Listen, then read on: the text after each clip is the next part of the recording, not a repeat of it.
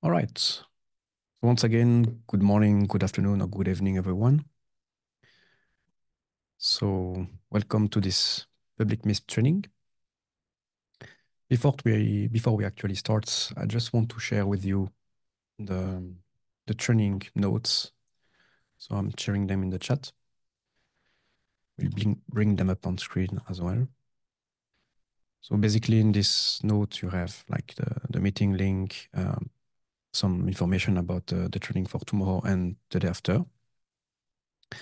Um, so for those who are joining with your phone or whatever, you have a QR code. You can also join this uh, this training document with the tinyurl.com slash misp-october slash 2024. In this document, you will also find information on how to join the training MISP instances that we offer to you. It, these are public instances that you can access. Uh, it's basically a demo MISP instance. So just grab one of the user accounts, use the password, and we can play with it right away. Uh, just for your information about this uh, training instance, uh, it will remain open with the same credential for at least seven days. So if you want to like show it to other colleagues, play with it more after that training, feel free. Uh, but after seven days, we are not guaranteeing that you will be able to, to join these instances anymore. So quick agenda for today. So this is the first day of the, of the public MISP training. It's uh, mainly about an introduction to, to intelligent sharing, uh, to MISP general usage and MISP concept. And tomorrow it's more about an advanced session that will cover a lot of things using administration of MISP, API, integration and automations. Um, during the introduction, if you want to spend a bit of time, we have uh, created a short survey that's going to take around three minutes for you to do. So if you're willing to participate, uh, feel free. It's not a requirement. It's just for us so that we know the public that we have today. Um, yeah, and then that's basically it's more training materials or documentation if you want. All right, that being said, um, I just wanted to mention that this training will be recorded. Uh, we won't be recording the chat or whatever. Uh, and then brings me to one of the most important thing for this training today is that um, I have two colleagues here in the chat uh, that are more than pleased to answer any question you might have during this session.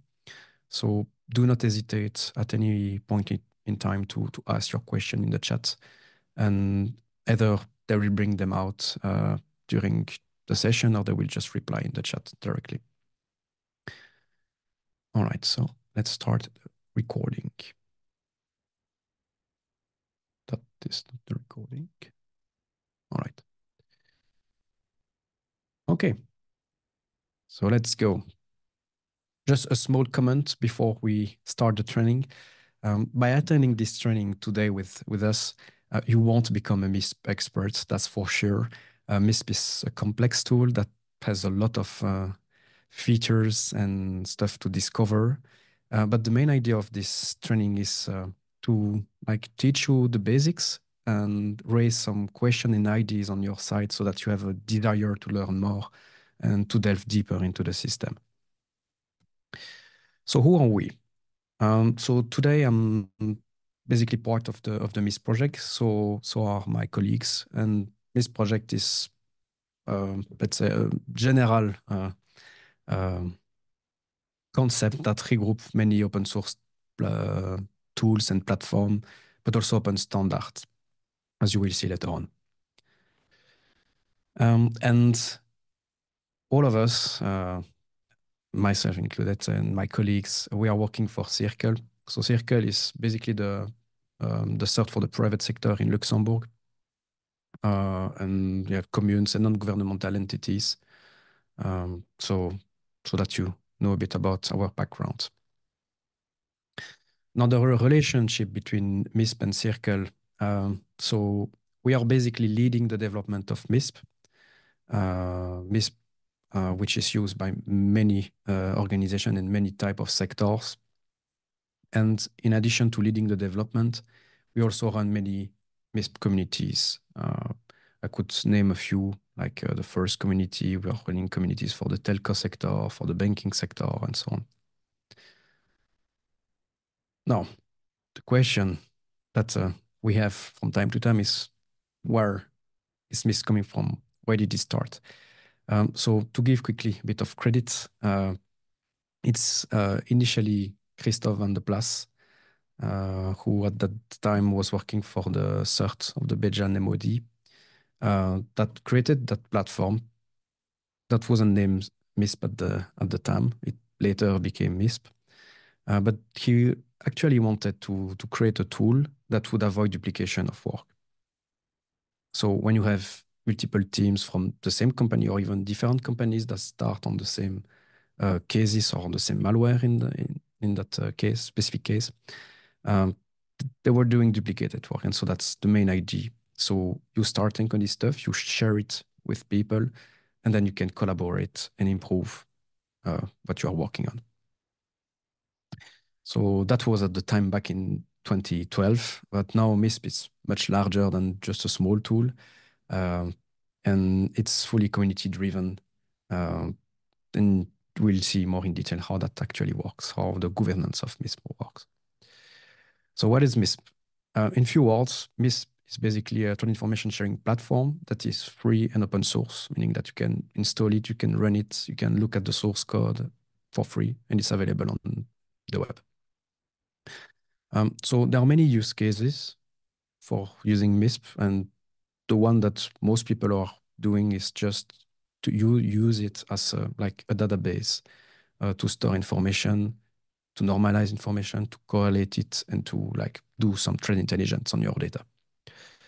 And uh, yeah, it really so the development has been steered in a way that collaboration is made easy between teams, but also between communities.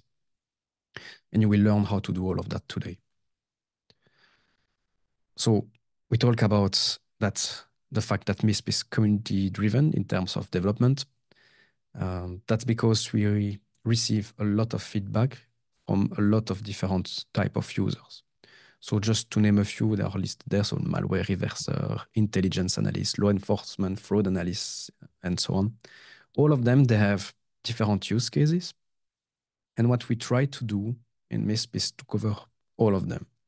That's also one of the reasons why the platform seems a bit convoluted, uh, offer a lot of features that you might think that's not really relevant for like traditional cyber threat intelligence, but that's because we have other use cases, we have other type of users uh, that use their instance in their own ways. And that's totally fine. So to explain a bit uh, about the government governance on how the development in MISP is actually driven. Um, first of all, we have uh, um, a big event, like a, a, yearly event called CTI Summit, formerly known as the MISP Summit. But now, nowadays, it's not only about MISP, it's about CTI uh, in the broad sense. And uh, this event is great. It's going to happen end of the month, if I'm not mistaken. Uh, so yeah, feel free to to check it out, uh, cti-summit.org. Uh, it's organized at the same time as the hack.lu for those who know. And this event brings together a lot of actors uh, that are using MISP and are sharing what they're doing with the tool. Um, and based on that kind of feedback, we really steer the development on what we can do to like improve the tool so that it's easier for them to do their work. Of course, that's, it's an open source project. We have a heavy presence on GitHub and uh, open source channels such as Gitter. So we have a lot of issues. If you look at the GitHub repository of MISP, we have a lot of issues. And uh, most of them, well, most of them, I would say half of them are actually uh, um, notes for us or reminders or just open issues for discussion. So don't be afraid. It's not because we have an open issue that there is a bug in the tool. Um, but in addition to that, we also have two other kind of feedback. One of them being the MISP training that uh, typically what we are doing today. So if you have, if you are using the tools, or even if you are just new to the tool and think that some stuff could be improved, uh, please do not hesitate to provide feedback. It's very valuable to us to know um, how we can improve the tool. And finally, um, it's we have like a worldwide user group, for example, based uh, on sectors. For example, I mentioned the telecommunication sector the banking sector, but other group like the retail sector, hospitality sectors, and so on. Uh, all of them uh, typically belong to what we call ISACs or similar structure, and uh, they provide us feedback, very valuable feedback. So if you're part of this group and they're using MISP and you're just there to learn about it today, uh, do not hesitate to like voice your concerns or voice your uh, feedback to this group so that they can convey that to us directly. All right. So I've mentioned we have a lot of different uh, type of use case and a lot of different user groups. And something that can be a bit tricky, especially when you uh, are dealing with false positives, uh, is what you actually want to do with the data that you have. So most of you today, I guess you are attending that training because whenever you receive an IOC, you want to block it like when you receive a malicious IP address or, mal or malicious binary or um, an URL that uh, is like delivering malicious payloads, what you actually want to do is to block it um, or, or, detect it depending on which team you are in. Uh, but we have also other user groups that want to perform intelligence, so to dig more. And these guys, they're also interested in false positives. But you quickly realize that these two objectives can be quite conflicting because on one side you have people that want to have like timely vetted high value uh, IOCs that they want to block. Uh, and on the other hand, you have other people that just want to see like everything that uh, that is happening on a specific case. Uh, they want to see server going up and down so on to do proper uh, threat intelligence. And these two objectives are totally conflicting conflicting because if if you if you have, for example, a, a malware that tries to check if it has uh, internet connectivity on like uh, Google.com, uh, this is something that would be interesting for the the people that do threat intelligence.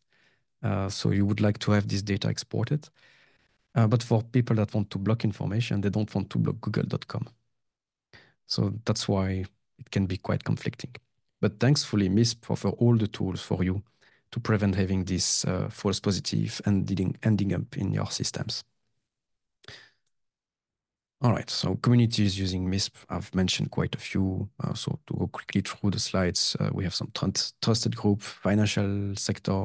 We also have military and international organization that are using a specific case of MISP. So even though MISP is all about sharing and being connected to other MISP communities, typically these sectors and communities, they're using MISP in an air gap environment. And that's totally fine. We even provide some uh, installer and updater to uh, to like to run this system in such an air gapped uh, mode. We also have security vendors, uh, many communities using it. And we talk about it's all about sharing. Uh, but sometimes just sharing the technical aspect is not uh, is not enough. Uh, depending on the community you're in, you also have to, to take into account social interaction and trust. So if you're just here today, you join the random community, of course, you're not going to put the same amount of trust that you would put in the community you've been in for uh, years and years. So that's one of the side of the difficulties when you're talking about sharing. But another one is more about uh, the uh, uh, practical restrictions. So people tend to think that they don't have anything to share. Um, like they are consuming data and they think that there is no point for them to share because they don't produce anything of value. But that's not technically true because most of the time uh, they will collect data and they will notice that this is a false positive, this is not valid data anymore. And this is something that you can provide uh, feedback to the original creator of the data. Um, other practical restriction could be that the classification that is used uh, doesn't fit their model of classification, but this can also be solved with clever tools that we have in MISP. Uh, same for format. Uh, we have a lot of converter to import, like to ingest and export different type of format. And we also offer you all the tools that you, you would need uh, if you have to design one for your own format. So really, we are really flexible uh, for that, uh, that aspect. No. So I've mentioned at the beginning the concept of MISP project because MISP is the tool, but we have MISP project, uh, which is uh, like an organization that encompasses many different uh, other projects. So the one that we will talk about today is MISP Core, so the MISP software, but we have also other tools or applications such as the MISP module that we also see today how you can use it. It's basically a tool that helps you to to enrichment on data or export or import from different formats. Like PyMISP, which is the Python wrapper around the MISP API. Um, so yeah, these are few of the tools that uh, are under this umbrella of MISP project. Uh, but in addition to the tools, we also have what we call intelligence and knowledge base. So it's basically um, all classification, libraries uh, uh, of contextualization that is available to everyone. So even though it's prefixed with a, a MISP in front of it, is because it's used by the MISP application, but these uh, knowledge base can be used in other tools. So we know already many tools that are using these uh, as just like a classification mechanism. Uh, if you are not really if you don't really know what I'm talking about, you will see later on when, when you will see that in action in MISP. And the tool has Pylar, which are the open standard, because MISP is a tool, but MISP is also a format. So we describe that uh, in part uh, uh, in uh, in uh, in a draft, internet draft. And last but not least, the last Pylar intelligence and sharing community. So we produce various compliance documents, such as legal document, for example, GDPR. I didn't talk about it in the previous slide about sharing difficulties, but uh, this is also, if you have some legal restriction in sharing information, you can have a look at this URL that is in, in the bottom of the slide. We have compiled a lot of document that can help you in that aspect. Um, but we also provide feeds that you can uh, ingest directly once you install a MISP instance so that you can get started right away with data. And uh, yeah, some best practices, training materials and training like we are doing today. So sharing MISP, we will see that in practice because slides are good, but uh, it's not really telling on how it works behind the scenes. Uh, there are many ways in MISP to share information. You can share them to like various communities at once, specific uh, communities, even specific uh, list of organization. Uh, you, you can have what we call pseudo-anonymized information sharing that allows you to create data, but do not leak your name or the name of the company, of your company. We also have a way to collaborate on information sharing. So if you notice that someone did a mistake or a typo, you can propose changes. You can also improve data created by others. Um, yeah, a lot of very interesting things that we'll see in details. Um, all about sharing again, synchronization, the feed system, air gap sharing that I've mentioned already. And uh, last but not least, that I will mention on this slide is um, the quick lookup on feeds, because sometimes you have huge feeds that you don't want to ingest in your system as is, uh, because of space constraint or for performance reason. Um, but MISP has a system that allows you to partially ingest a feed in a fast uh, lookup store. Uh, we call that process caching. Um, and it's a way for you to see that a specific piece of data exists in a feed or in, an, in another large data set. Um, so when you are in the interface or using DPI, you see that this information is already known or is part of that uh, particular large data set.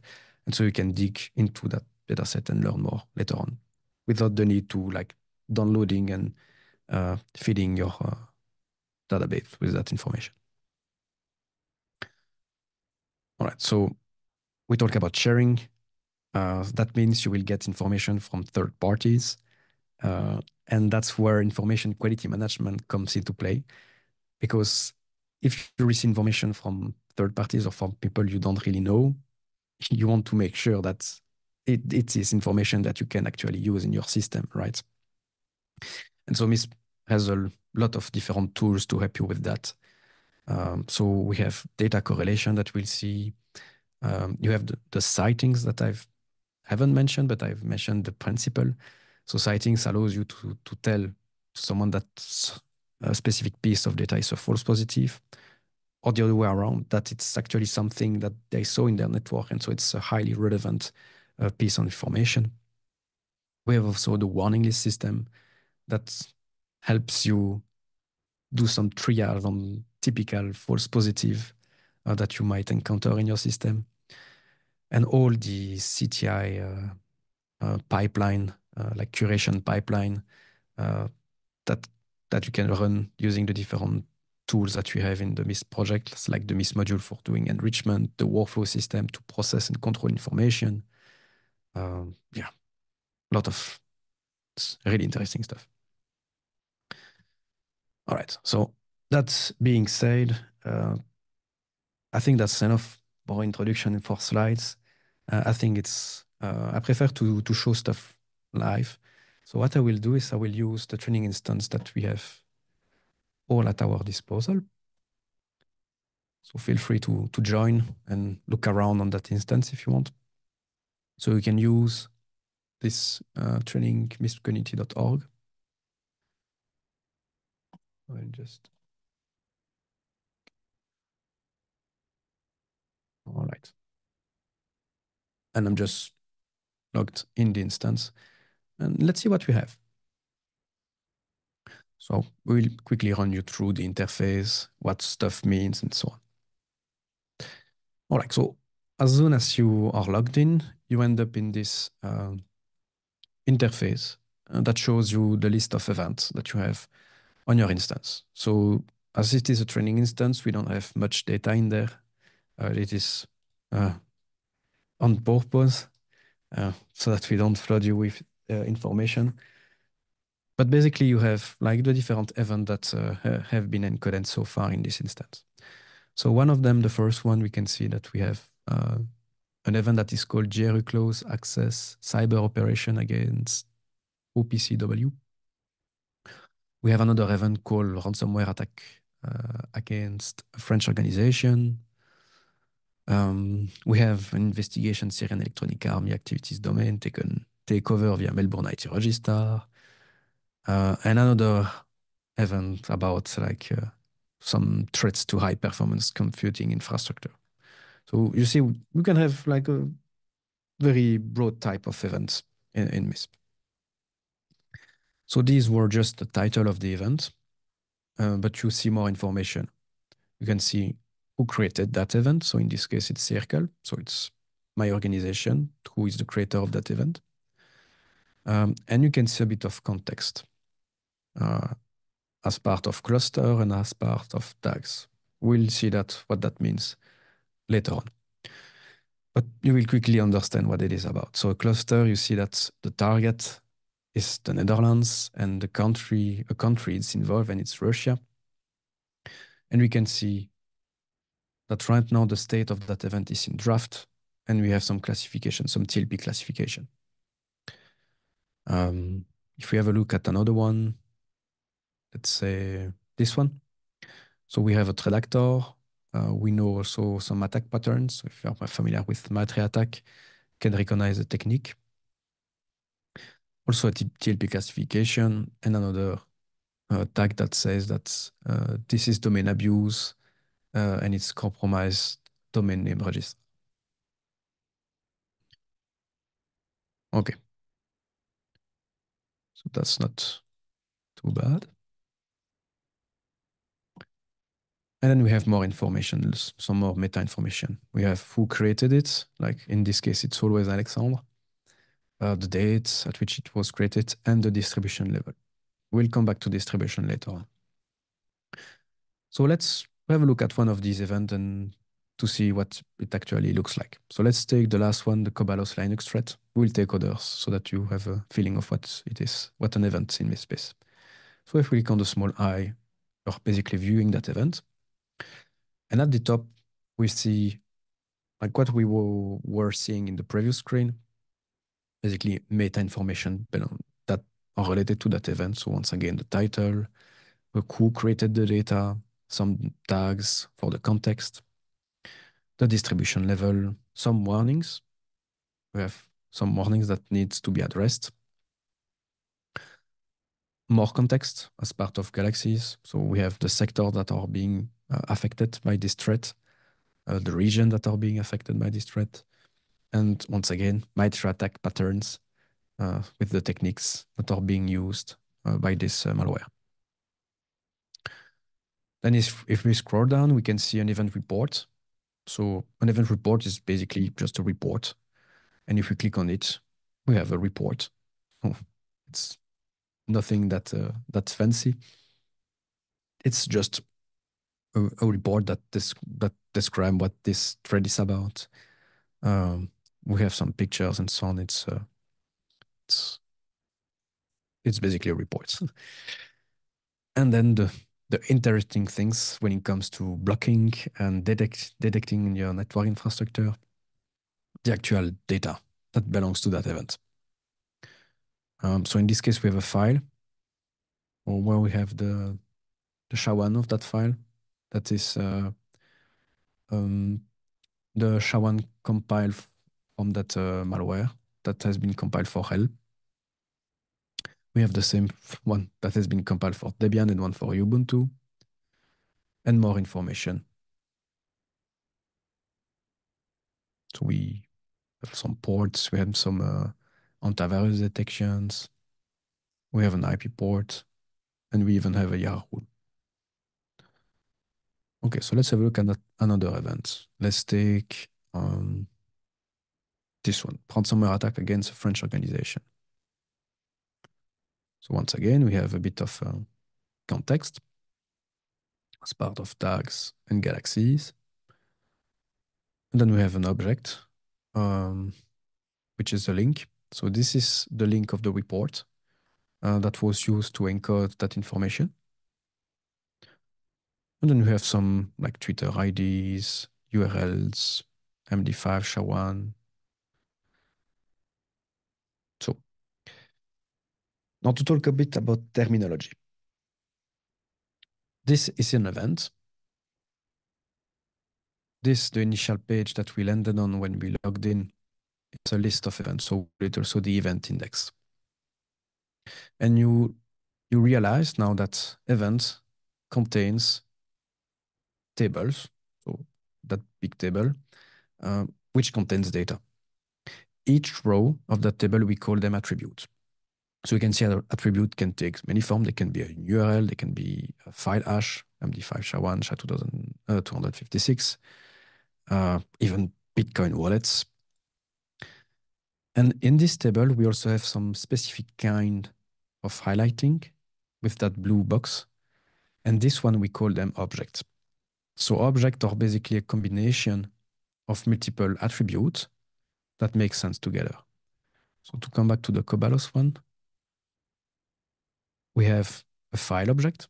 You can see for the file object, we have the, the file name and a hash for that file. Oh, let's see if we have other examples. This one, we have a vulnerability object. So we have the vulnerability ID, a small summary, the state of that vulnerability, and references.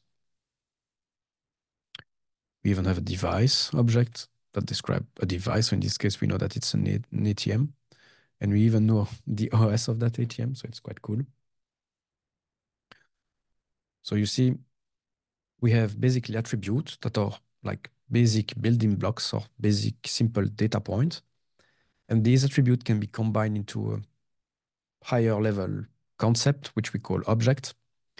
Object that describes a concept, for example, vulnerability, a file, uh, a URL, and, and this concept contains multiple attributes. Okay. So now that we know about these basic things, uh, I think it's a good moment to see how you can use the system to actually create data. So what we will do is we'll use one of the example I have here. So this is um, an encoding exercise. So it's a fake uh, incident uh, that we use to basically show or give us an example or hands-on uh, on how to use MISP to encode various things. And today uh, I choose to do the encoding of a scam call uh, that involves money transfer. So we have a bit of narrative there. So we quickly go through so that everyone is on the same page. So the, the story behind that fake incident is that the victim was called by a scammer called Wallace Brain. Uh, and Wallace Brain used a phone number, which is there. And our friend Wallace pretended to be a Microsoft employee, and he managed to convince the victim that he could help the victim by using uh, RDP, so remote, remote desktop assistance. So once Wallace had access to the system, he downloaded a binary from the URL provided there. He installed that binary, and we suppose that, uh, so he didn't do anything once he installed it, but we suppose it's is there as a backdoor so that he can uh, access the computer of the victim later on. And once the installation was done, he told the victim that everything is uh, in order, everything is uh, uh working as intended. Uh, but then he, the victim had to pay for the technical assistance, and so he um, he gave uh, his bank account to the victim so that the victim would transfer the money to that bank account. And the day after, the victim, suspecting it was a scam, contacted the police. So that's basically the narrative of that fake incident. So based on that, we collected some evidence. We extracted some, some data from this evidence. For example, the scammer IP address, the actual binary, the URL that was used to download the, the binary, the bank account, the phone number, and so on. So these are the extracted value from the evidences. So we see we have an IP address, we have the binary, uh, we have an URL, we have an IBAN number, uh, phone number, and the name of the suspected scammer. All right. So now we'll see how you can turn this incident and this information into a MISP event that can be uh, that can be shared with the community so that they know about this specific indicator of compromise and they can protect their constituency uh, with that information. So if you if you are willing to do the same exercise as I'm doing, uh, you can just open up open the the exercise. It's linked in the Edge document, HedgeDoc, doc document. So you have to scroll down in the detailed agenda, and you can click on this one, um, or you can just follow along while I'm doing the encoding myself. Okay. So we have that IP address. And now I, I want to encode this IP address in this, but how would I do it? Well, based on the previous screen that I showed you, uh, you may have noticed that attributes, they always belong in an event. So you cannot have a an attribute not being part of an event. So the first thing that we have to do is to actually create an event in MISP. So for that, I will just click on the add event button that I have on the left sidebar. Then we have this really small form that we can use to create our event. So I can put a date, I can put the distribution. We'll come back to the distribution later on. Right now, we'll just pick the distribution, your organization only so that only the user that belong to my organization can view the data. Then I can assess the threat level of that event. Uh, so is it high, is it low?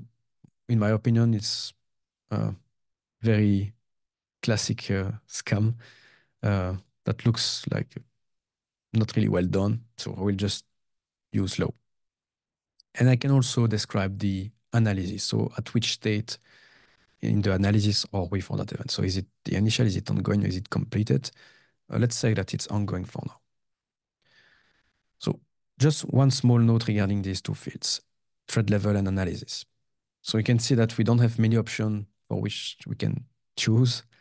Um, this is because these fields are very old. So they were introduced, I don't know, back in 2012, perhaps. I wasn't even working on MISP at that time.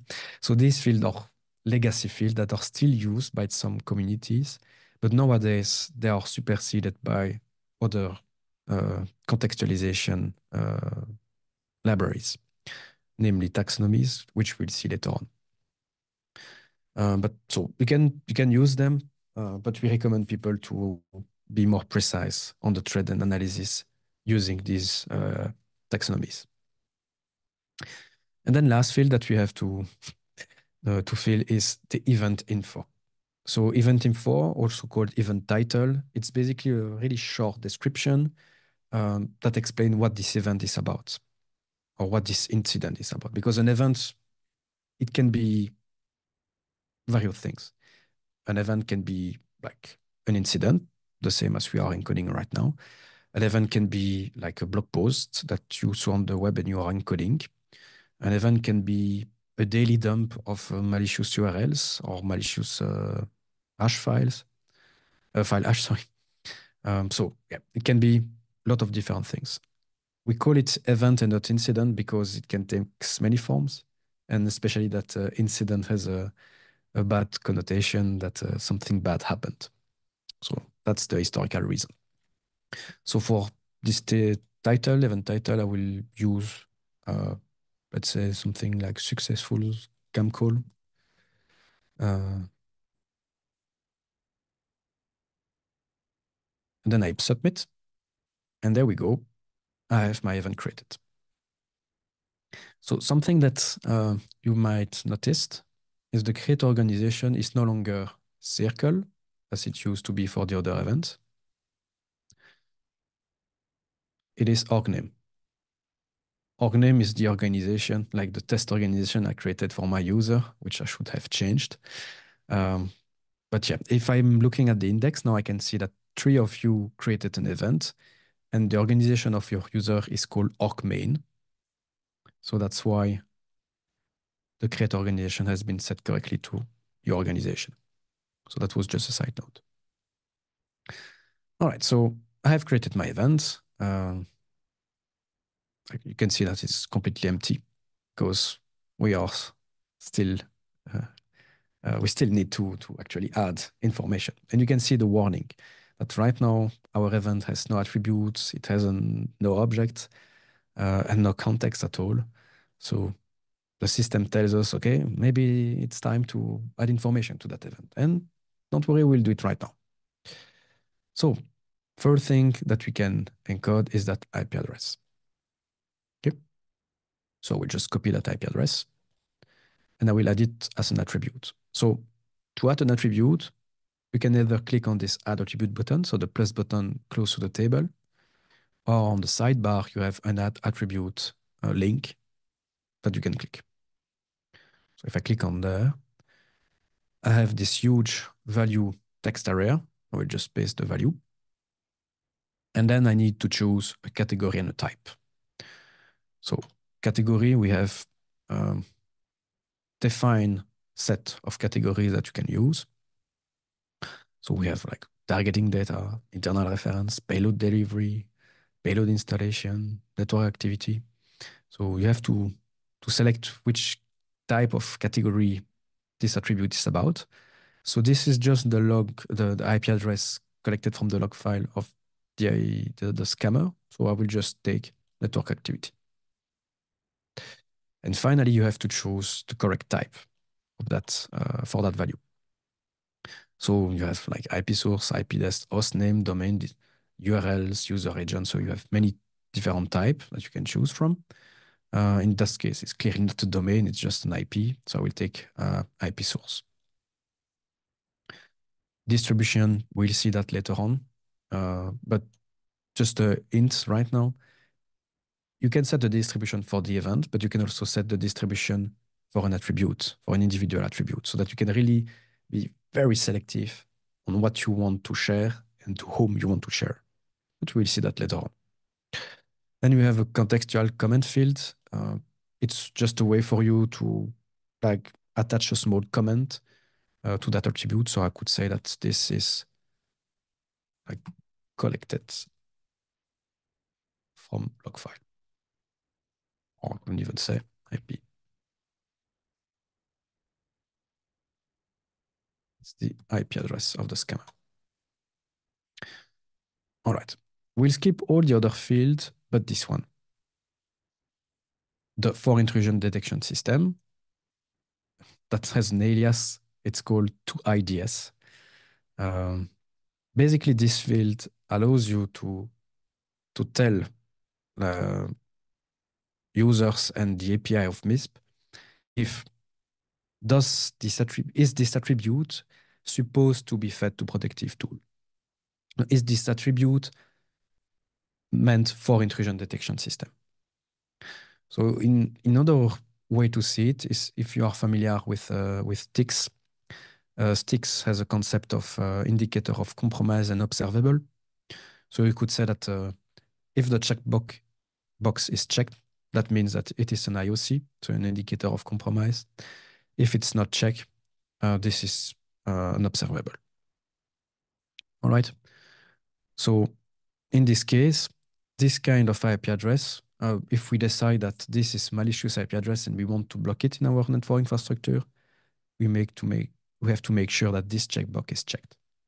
We'll come back to that multiple times during this encoding. So you click submit, then the system tells you the attribute has been saved. And if you scroll down, you can see your attribute in the table. Perfect.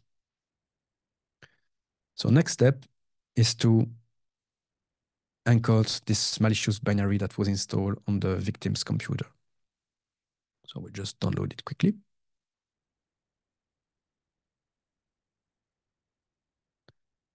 Okay. And so to add that malicious binary, we don't go through the add attributes form. No, this time we go through the add attachment. So I will click on add attachment. You can see the form is way smaller. So I can just, hmm, that used to work. Choose file. All right. So I can choose the category. Is it antivirus detection? Is it the payload delivery? Is it the payload installation? So you can choose the category. Once again, you can choose the distribution level. And you can add a comment similar to what we did last time. So I could say this comment. And last but not least, we have to tell the system if this binary or file, rather, is it a malware sample or not? Because you could add an attachment that could be, for example, a PDF report. And in this case, a PDF report is not a malware sample. So if you choose to disable that option, uh, MISP will just create, uh, create the file and save the file as If you tell MISP that this is a malware sample, MISP will do multiple things. So MISP will save it. It will uh, automatically compute the different file hashes so that you don't have to manually, you know, compute the SHA-1, the MD5, and so on of that file. No, no, you just uh, just let MISP, you just let MISP do that job. And finally, it will also uh, encrypt that file on disk so that if someone by mistake downloads it, it doesn't get run automatically. So people will have to uh, uh, provide the decryption password to open up the archive. So this is a malicious, um, a malicious malware sample. So I will I'll make sure that this checkbox is ticked. I click on upload. Then this tells me that it has been uploaded. And if we scroll down, we can see that we have the file object that has been created. We have the file name. We have all the different file hashes that have been computed automatically by MISP. And we have the malware sample. Right, so if I click on this one, MISP may tell me that I'm about to download a file that is probably a malware. That for my safety, the file has been compressed uh, and is encrypted. And to decrypt the file, I have to use the password infected. So it couldn't be more straightforward. Okay, so now I have added my file. Great. Now let's go to the next one, which is an URL. So we have that URL. So what I could do is I could create an attribute of type URL. But if I would do that, I would lose some benefits of using another uh, entity to store that information. And I will explain you why. So instead of using an attribute, I will use an object because in that URL, we have many components that we can explode and use. For example, we have the domain. We have, uh, well, the full URL, of course. We also have the path, like the resource path that is being used uh, in that URL. And these different components of that URL are valuable information that you want to split from the original URL. So what I will do this time is I will create an object.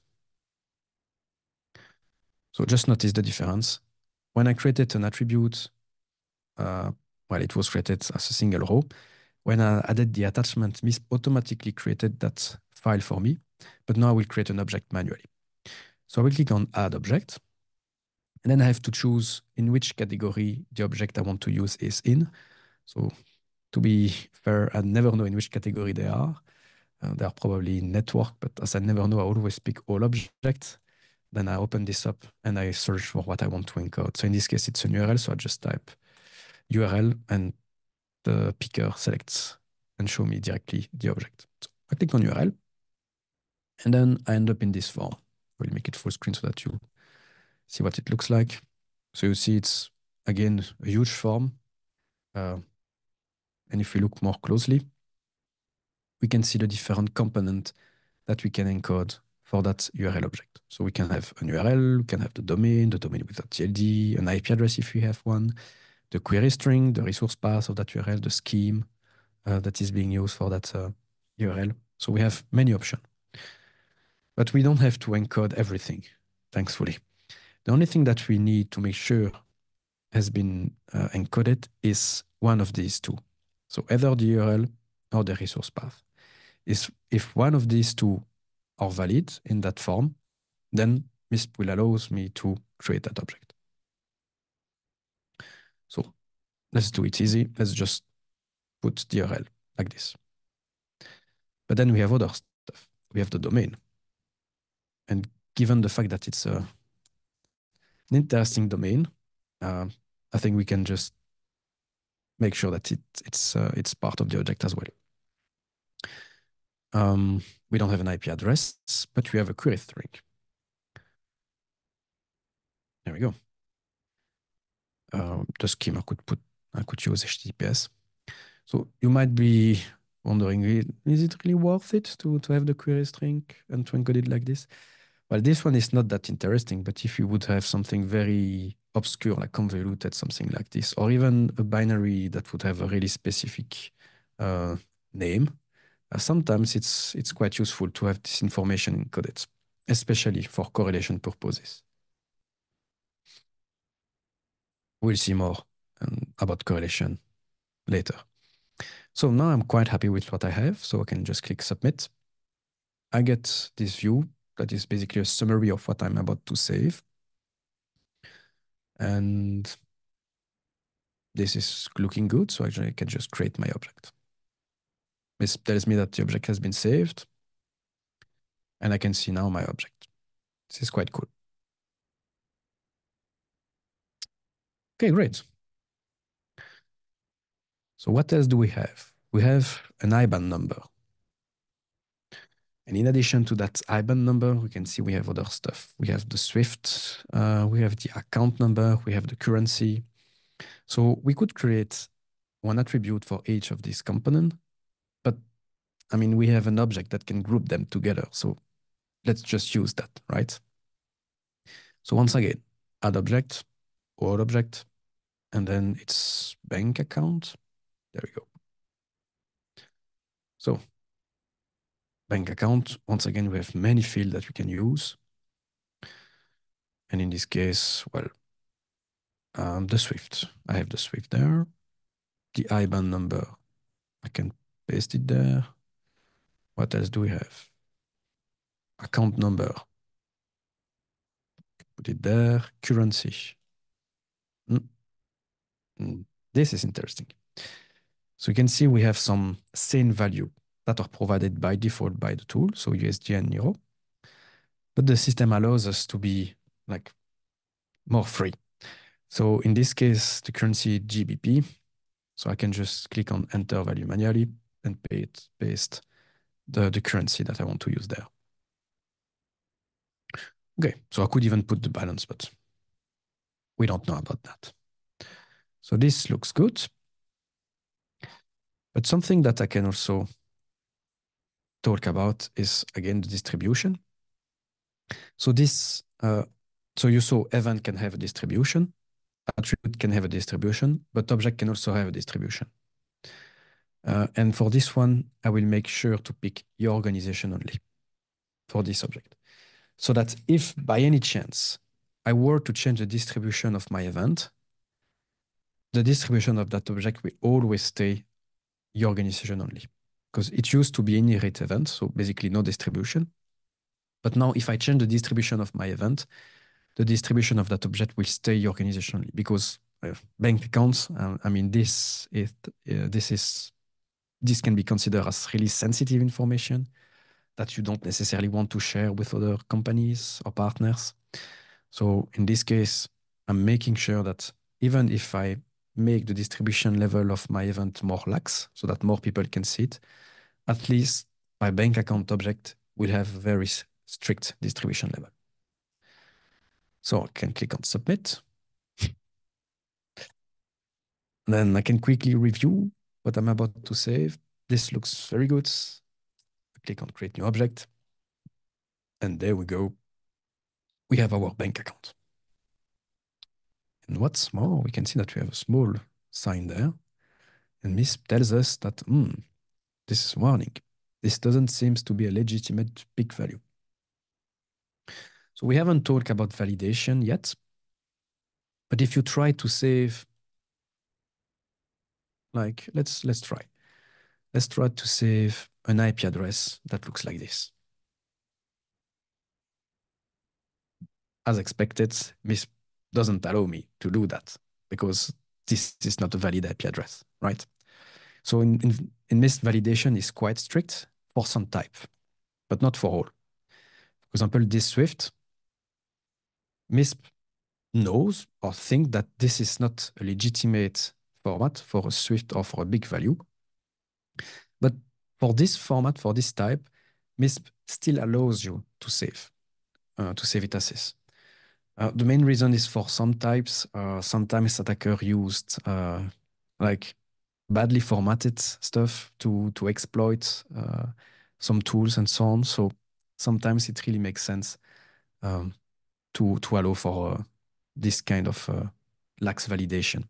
But for other like type such as an IP address, I mean, an IP address, it has to be valid IP address, right?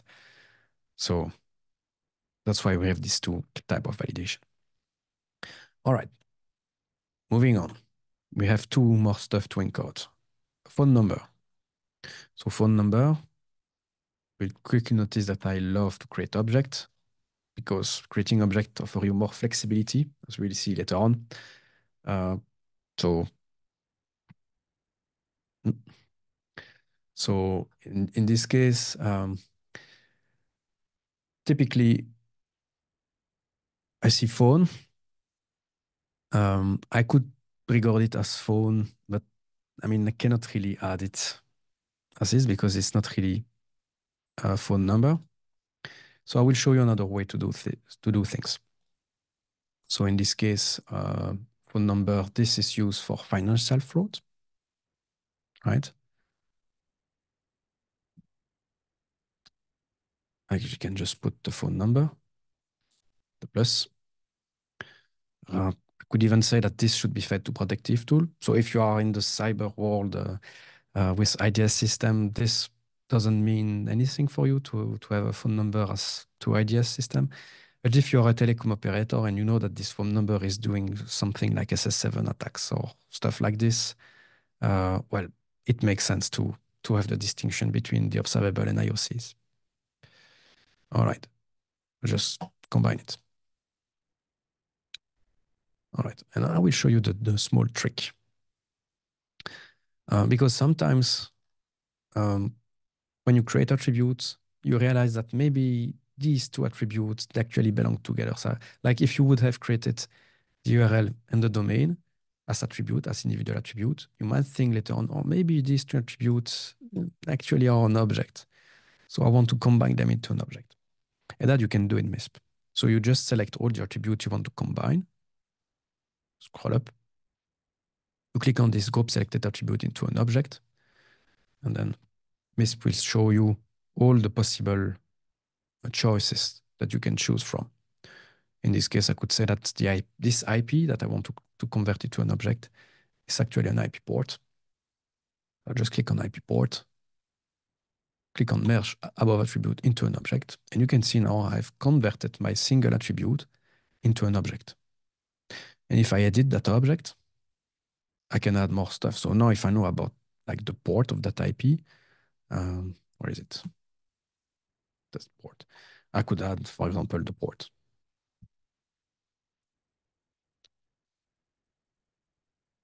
So this is a, a small trick, uh, and it comes very well. It, at least it's used quite a lot when you use the free text import tool. And you know what? Let's use it right now so that you see what I'm talking about. So let's just take this whole blob of text. And let's click on that small button, populate using the free text import tool. If you paste it like this and you click on submit, MISP will try to parse that whole, that whole um, text and convert it into uh, some attribute that he detects. So in this case, it detected correctly the phone number, the URL, and even the binary that is used. But you can see, for example, the bank account doesn't know uh, how to properly convert that into like a bank account object. So this is also a quick way for you to do encoding. So to just take a blob of text, use a free te text import tool, then if you click on submit attribute, I won't do it because I already have them in my event. But if you were to do it, you would have three, three individual attributes in your event. And afterwards, once you have them, you can start to combine them into object by selecting them manually and clicking on this group selected attribute into object.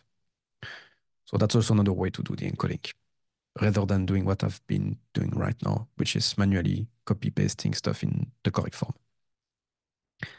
Okay, last but not least, so that we are done with that uh, uh, incident, we have our friend Wallace uh, that we still need to encode. Um, someone is asking to to do it again. Can you take it again? Ah, okay. Um, to the um, okay, uh, sure. So can just take the IP, can encode the IP once again.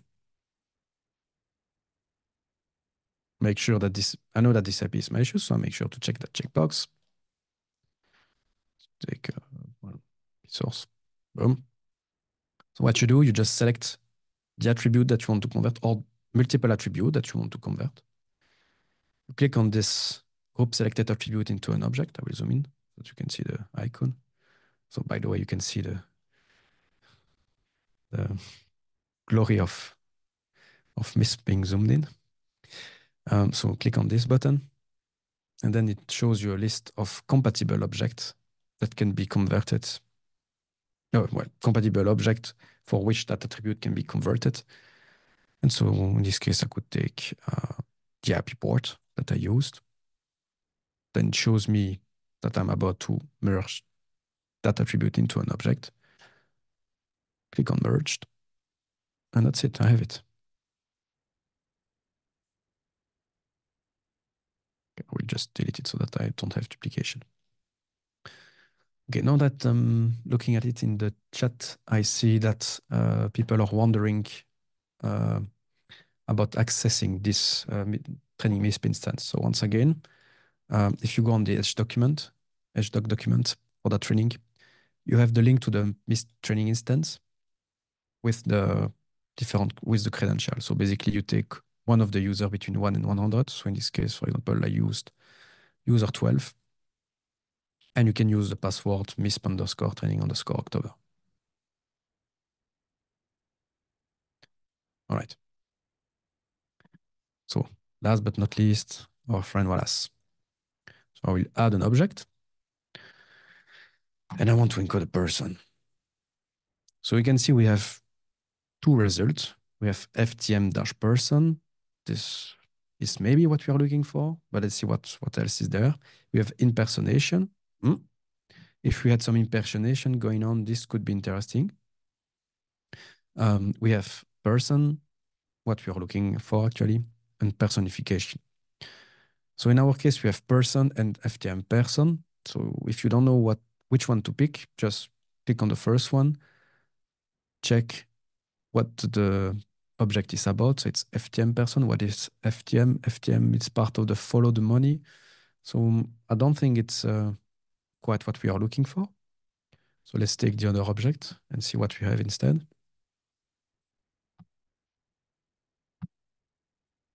Person is an object which describes the person as or an identity. This is what we are looking for. And what requirement do we have for that object is simply one of either one of these. So the first name, the last name, the full name, or an alias. Well, it's quite easy. We have the first and last name.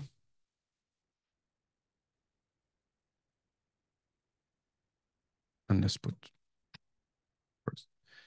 Um, what else can we encode there? Portrait, the phone number. We could even put the phone number. If you're sure that this phone number is actually uh, the one of uh, Wallace, we could put it there. Um, any stuff, more roles. Could say that this is a, a culprit. Um, so you can see you can encode a lot of information like passport number, date of birth, gender, and so on. Or even the nationality, let's say GB. Click on submit. And actually, I, I realized that I just did a small mistake. This information, we um, might not want to share it with us, like everyone, like partners and so on. So what I want to do is to make sure that this stays under, oops, ah, this is a small bug that needs to be fixed. So you see, even when you do stuff live, stuff happens. That's because the checkbox when I click on back didn't automatically like reject itself. Okay, now we are good. This is looking very good. Can click on create. And there we go. So we've encoded all the information. Hmm?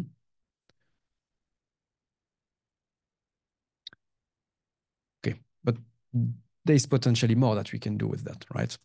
Because now, sure, we have we have this. We can like start to export what can be used to be fed to our protective tool. Uh, but I mean, we are still missing something, which is, uh, as I saw in, in the chat uh, by uh, Alex reply, is the relationship between all of these. So, for example, we could uh, say that, okay, um, this person, Wallace, is the owner of that phone number, or this person is the owner of that bank account, or that this person asked for that malware to be downloaded, and the fact that that malware was downloaded from that location. So there are two ways for us to encode this information. First one would be to create a report, right? So we can click on event report. You click on add event report you give it a name, like uh, like I don't know, uh, scam call incident. You just take the narrative. Oh, come on. Copy, paste, submit. And now we have it. So we have our report and anyone that is interesting, interested in what this event is about can just read the report. But you can also encode it in a way that can be used um, in an automated way so that you would have what we call a relationship graph that would show the relationship between the different entities and different objects that we have in there. So instead of clicking on event report, this time we will click on event graph. So right now, we don't have much. We have an attribute that is being unreferenced, and we have five objects that are still unreferenced. So basically one, two, three, four, five, our five object, and the attribute that is uh, alone there. So how can you use that graph? Um, it's an interactive graph on which you can like expand and collapse nodes. So in this one, if you want to see all the attributes that are being unreferenced, I can just press the X key. Will, it will show me the attributes. If I want to collapse it, I can press the C key. Um, and I can do the same for the object. So if I select this node, I press the X key and I see all the object. Then I can start to add relationship. And in MISP, there are two ways to add relationship. There is the boring way to do it, just using the plus button that we have there, add reference. It creates you like this form where you can choose the relationship type and the target because we've picked the source of the relationship, so person, and then I can choose a target. So I can say, for example, that this phone number belongs to, right? So is, is it that, that way actually? Uh, no, it would be the other way around. So it would be the phone number belongs to that person. Uh, but what I can do is the other way around. So what's the opposite of belongs to? It could be owner of or own. So in my case now, Wallace is the owns the phone number. And what I have, you can see automatically my graph was created and I have my person and it says that this person owns that phone number. So you saw the boring way to do it. Now you have the fun way to do it is to do it directly from that graph. So we know that uh, Wallace is the owner of that phone number, but we also know that he is the owner of that bank account, most probably. So you click on Edit, Add Reference. You click on the first uh, node, so the source node. You drag it onto the target node. Automatically, it pre-fills the target UID so that it's picked correctly. And now you can add the relationship type. Um, so in this case, it's owner of.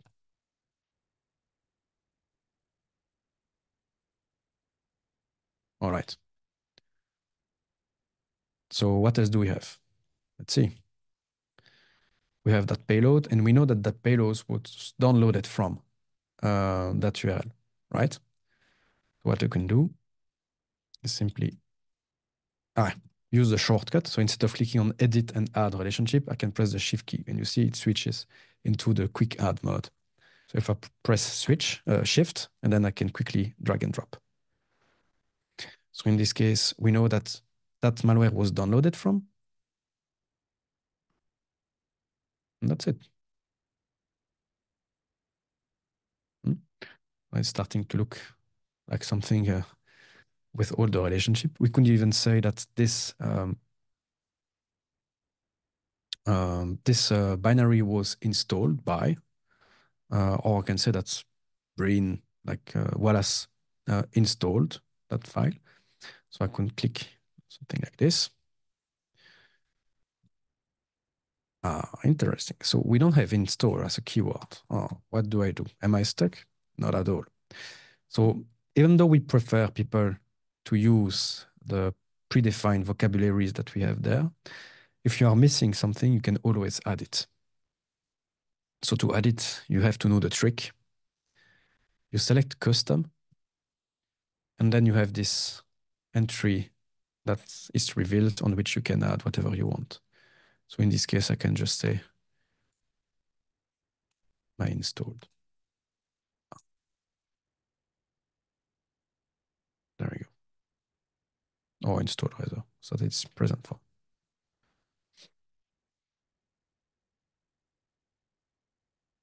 Okay. What's left? We have an IP port. Um, this uh, IP port, um, well, it was the IP of uh, of Wallace. Um, so you could also add the relationship between the two. Okay. Oops. Just checking quickly. Okay. So that's a pretty good event. Uh, we have a report, we have uh, the event graph. Uh, it's not too bad. But now we are still missing something, right? If I go back on the index and I look at my event, this is my event, and this is previous event. And what you immediately see is we are missing context. We are missing a lot of context. So it's always good to add context.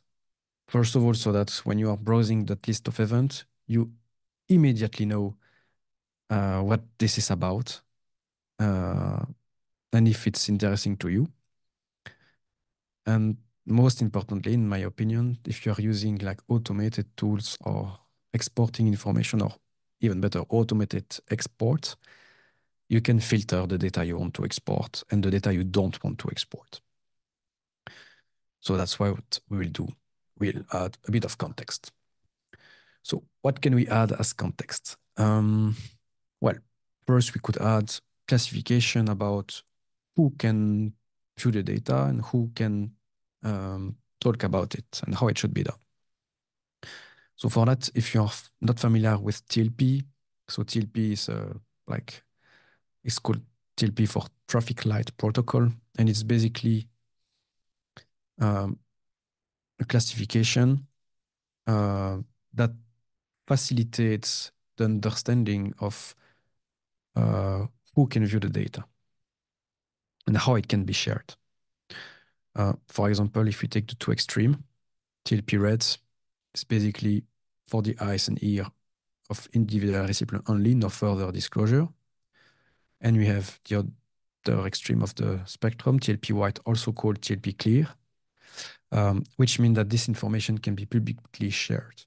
So we can put it on the internet and whatnot. So in our case, um, we'll add, oops, we'll add a TLP classification. So to do that, we click on this small globe icon to add a tag. And then you have to select um, a taxonomy. Uh, so we haven't talked about taxonomy yet. I will come to that uh, after the break. Uh, but basically, these are lists uh, of tags. So if you want to add a tag from the TLP taxonomy, we just uh, we just click on the TLP there, and then we can choose the tag. So in this case, let's pick TLP green.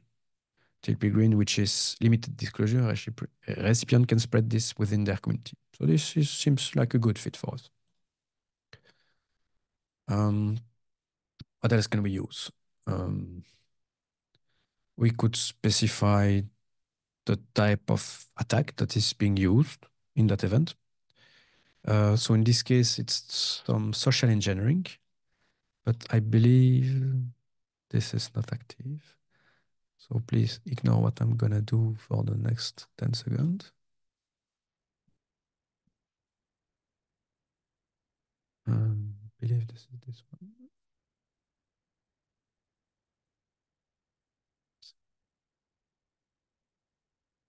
Okay. We'll see all of that tomorrow during the administration part. Okay, now I can use, sorry, uh, social engineering attack vector. And this is clearly a case of phishing, right? And uh, what else? Spam email, no, tailgating. Technical expert. Ah, this is this is good. So with that, we know that someone pretend to be a technical expert and we have some phishing in place. Okay. Uh, so we could even go further uh, crazy. We could say uh, all the, the techniques that were involved and so on. Uh, but I just don't have the taxonomy enabled. I will just skip this part to make it short.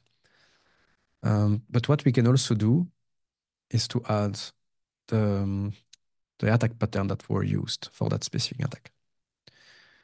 So in this case, I will just use you have a lot choose from. Um, So where is it? This has changed. So I'm not really familiar with that in interface. Um, also, if you are really familiar with MITRE ATT&CK, you really might recognize that with all the kin shell and, and so on. Uh, this is the new version, which I'm not really familiar with. So I'm not sure where the technique I'm, I'm looking for is located in. So I'll use the old trick of just seeing everything and then picking from the list. So uh, what we are dealing with uh, is some kind of um, user doing the manipulation themselves. Uh, so we have something, I don't remember exactly the name. Ah, user execution, that's it. So the user execute the operation itself. Um, do we have something like uh, vishing maybe or RDP? RDP hijacking, that's not really it. Uh, we also have some cone logs involved. That was uh, how the uh, IP of the attacker uh, uh, was, was used and so on. So we could add this. Um, so yeah, the more you know about about the, the context and the technique that were used by the attacker, the, the more complete you can make that list. And uh, it's not too bad.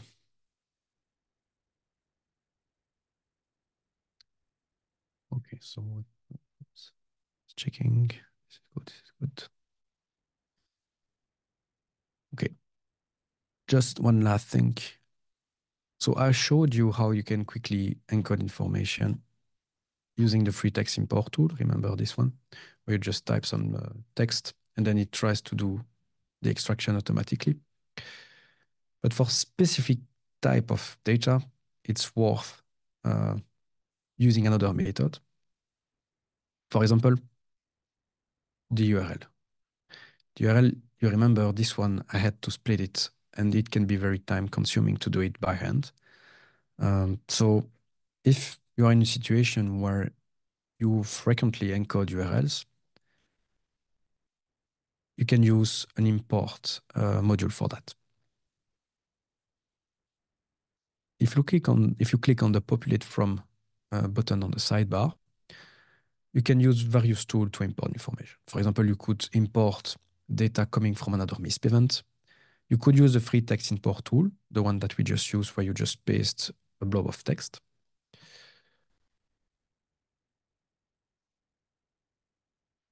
Um, you can use uh, data coming from the OpenIOC uh, format, ThreatConnect format. You could even import from a CSV. But what I wanted to show you is the URL import. So we have a specific uh, import module for importing URLs. So if you can just paste a list of uh, URLs, or just take this one, for example, and I will make even more complex with some query doesn't really matter. Um, yeah, you click on import, and what is going on is behind the scenes, MISP will query uh, the MISP modules that are running um, and ask the MISP module to explode the URL and to create an object out of it for us. So the first one is the URL I've pasted from, from my exercise, this one. You can see that it created the URL, it extracted the TLD, took the subdomain, took the host, extracted the resource path, and so on. And the second object is the second uh, entry that I pasted, where I just took the URL of my uh, uh, of my of the demo instance, and it did the same. So you see, we have also the resource path, and we have the query string that is being extracted correctly. So in this um, in this case, I can choose what I want to save. So let's say that I don't want to save the first object. I want to save this one, but I don't want to keep the TLD. I don't want to keep the domain without TLD. And I don't want to keep the subdomain. And with that, I'm quite happy with it. So I click submit. This is being done in the background. So I have to wait a few seconds before reloading. And once I reload, I can see my full object. So it's really worth it if you're encoding a lot of URLs to like manually do the encoding uh, using the uh, populate from URL import. And tomorrow we will see how you can, for those interested, you, will see how you can create such kind of import modules. Because this uh, import module for the for the URL, this is something that can be done, like implemented really quickly.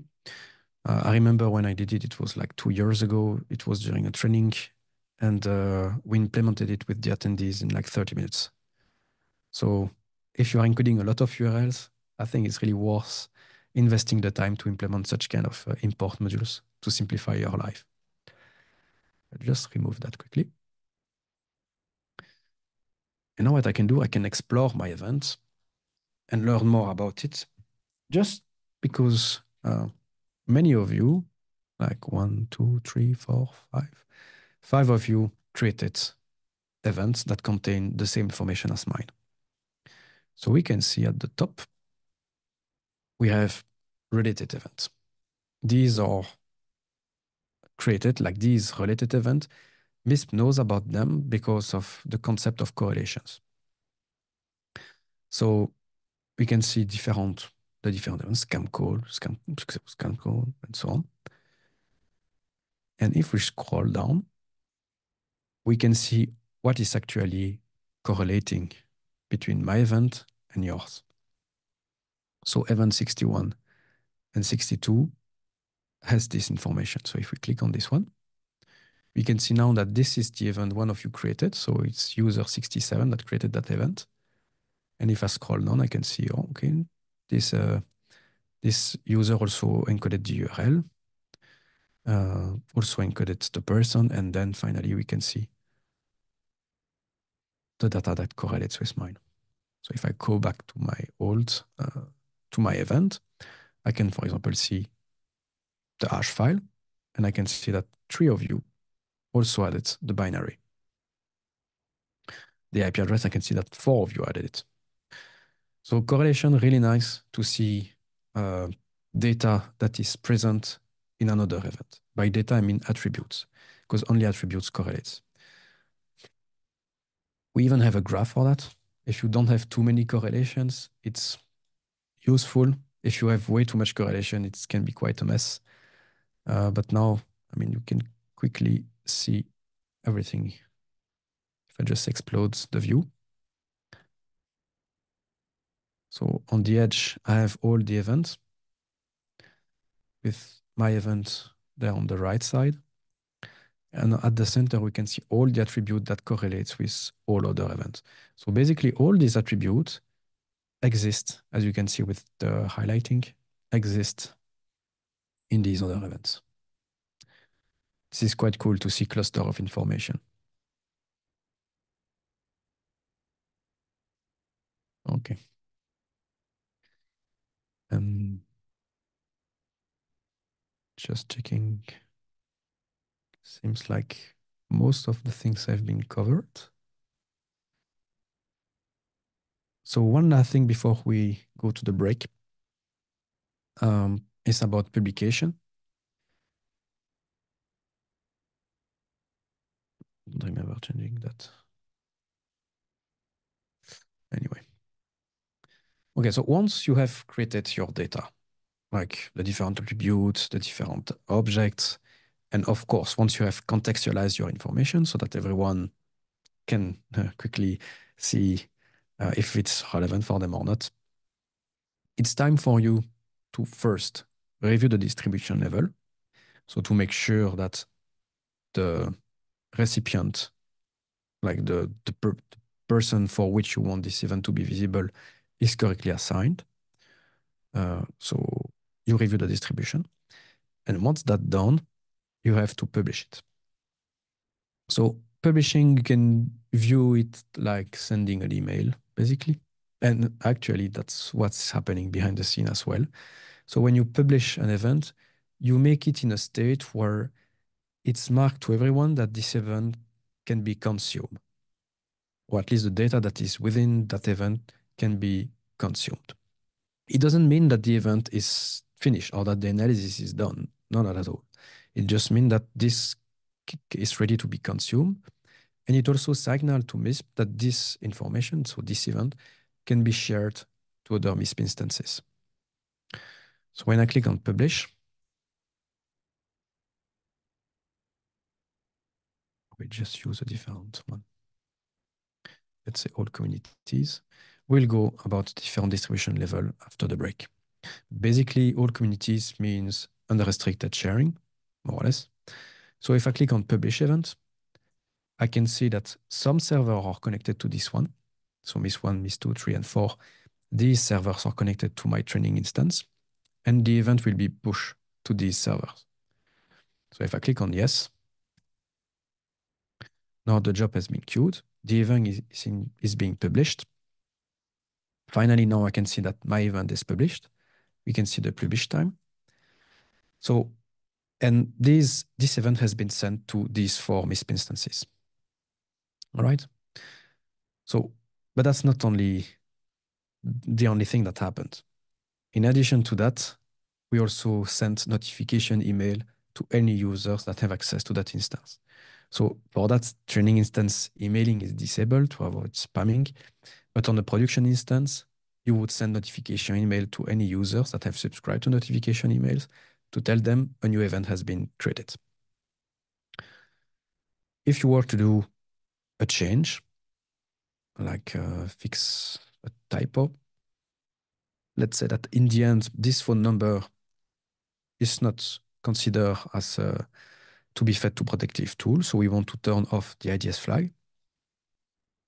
If I do a change on that event, we can see that now the event is not published anymore. Indicated with the uh, with the, the red and bold font, it means that this information uh, has not been published yet. So it is pending publication to be propagated. And now I have to publish it again so that other MISP instance uh, will get the update. So I have the choice between publish event and publish no email. So if I do publish event, it will be the same thing as we did like uh, one minute ago, including sending email notification. And for that specific case, uh, we have the publish no email to avoid spamming. So if you just do uh, a small notification like this, there is no point in sending emails to everyone uh, having access to your instance. So by just doing a small publish no email, the information has been propagated. Uh, other MISP instance got the update, um, and we didn't uh, spam our users. All right, so now I think it's good time for a break. Um, after the break, we'll go into more advanced concepts. We'll see enrichment of information, uh, the usage of warning list to reduce false positives. Um, and we'll do a small recap uh, and summary of the different concept and terminology that we have in MISP. And after afterward, we'll proceed in more general usage, including searches, uh, aggregating information, and a specific section about collaboration. So how you can use the different tools and features in MISP to correctly collaborate within a team, but also with other partners. And we'll close with best practices on encoding data. All right, so let's have a 15 minute break. So see you all in 15 minutes. All right, so welcome back to that, that small break.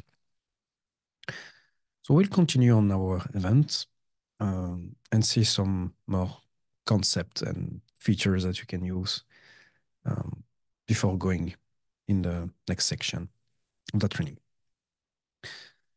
Okay, so for this one, I've created two new entries. Um, just a small domain that is known to be a valid domain because this one was a fake domain, the one we had before. And just um, an IP address 8888.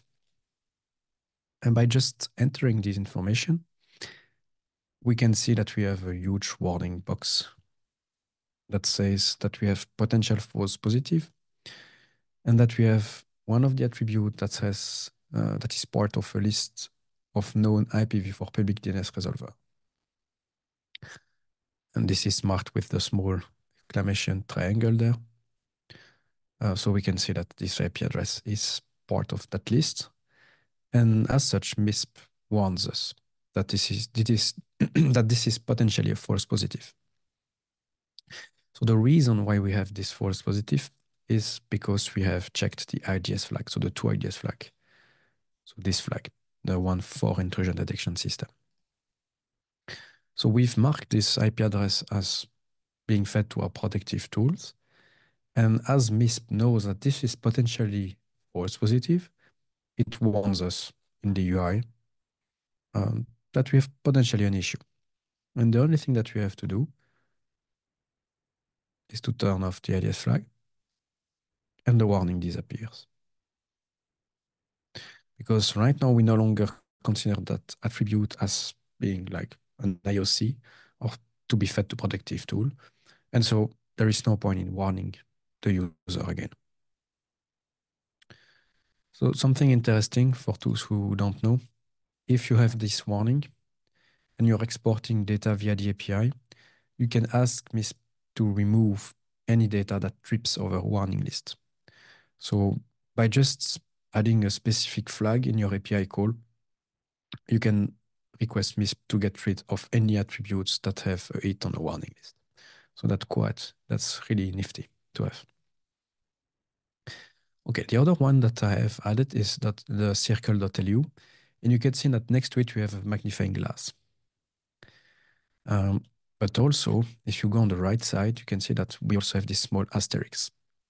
Uh, and if you click on it, it allows us to perform an enrichment on that attribute. So if I click on this one, I can choose which enrichment module I want to run on that specific attribute.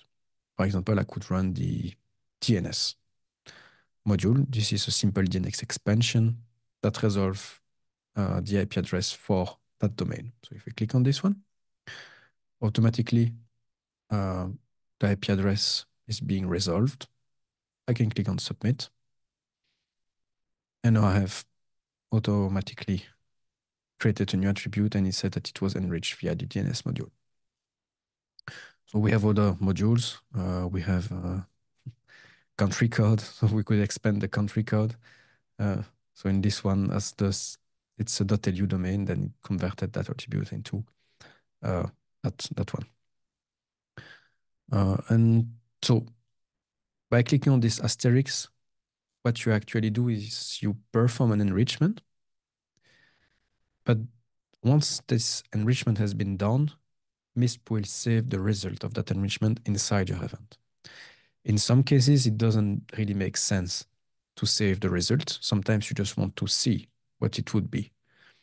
So if we click on the magnifying glass, it will show the enrichment, but do not save them. So in this case, uh, on this 8888, we can see uh, that the ASN enrichment module has been run, and we have the ASN number for that IP address. And the reverse DNS uh, module run again, and it's reverse to dns.google. Um, so what do we have? Another enrichment, empty result for this uh, binary. And this one YARA query creates for us um, a YARA rule that you could use. So it's, uh, it's quite nice. In this training instance, we don't have many enrichment module, but uh, I mean, on production instance, you would have very useful enrichment modules such as, I don't know, VirusTotal, uh, and so on. Okay.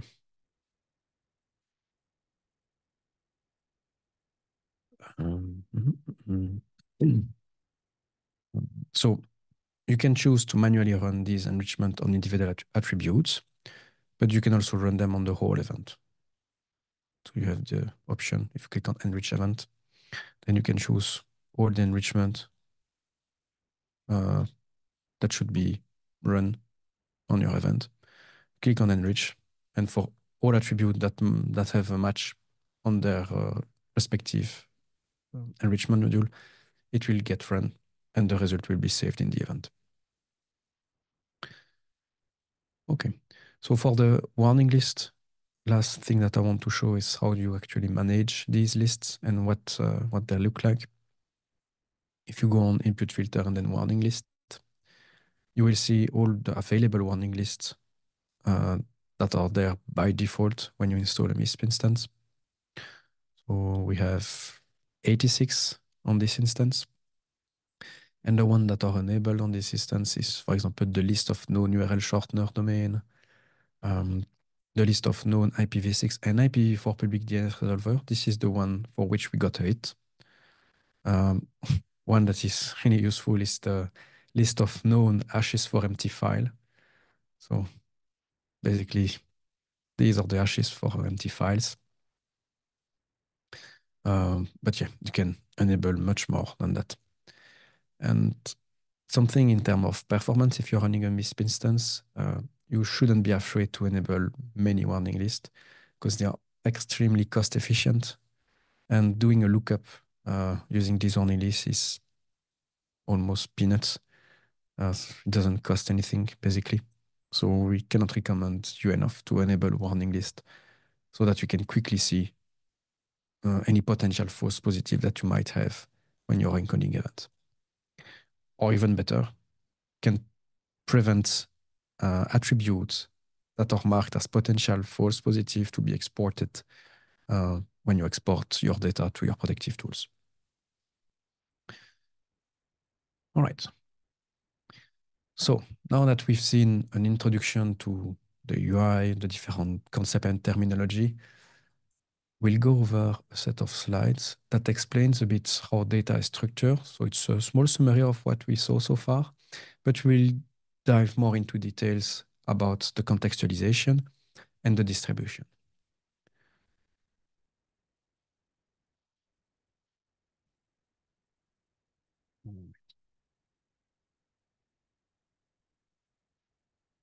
All right, so this is how uh, I like to to view things um, where we have basically two layers in MISP. The first one is what I call the data layer. It's basically the layer that contains all the data that you will encode. For example, the event are in this layer, attributes, the object and the event reports, and much more in that layer. And the second layer is what I call the context layer. This is the layer on which you will add the context on the data layer.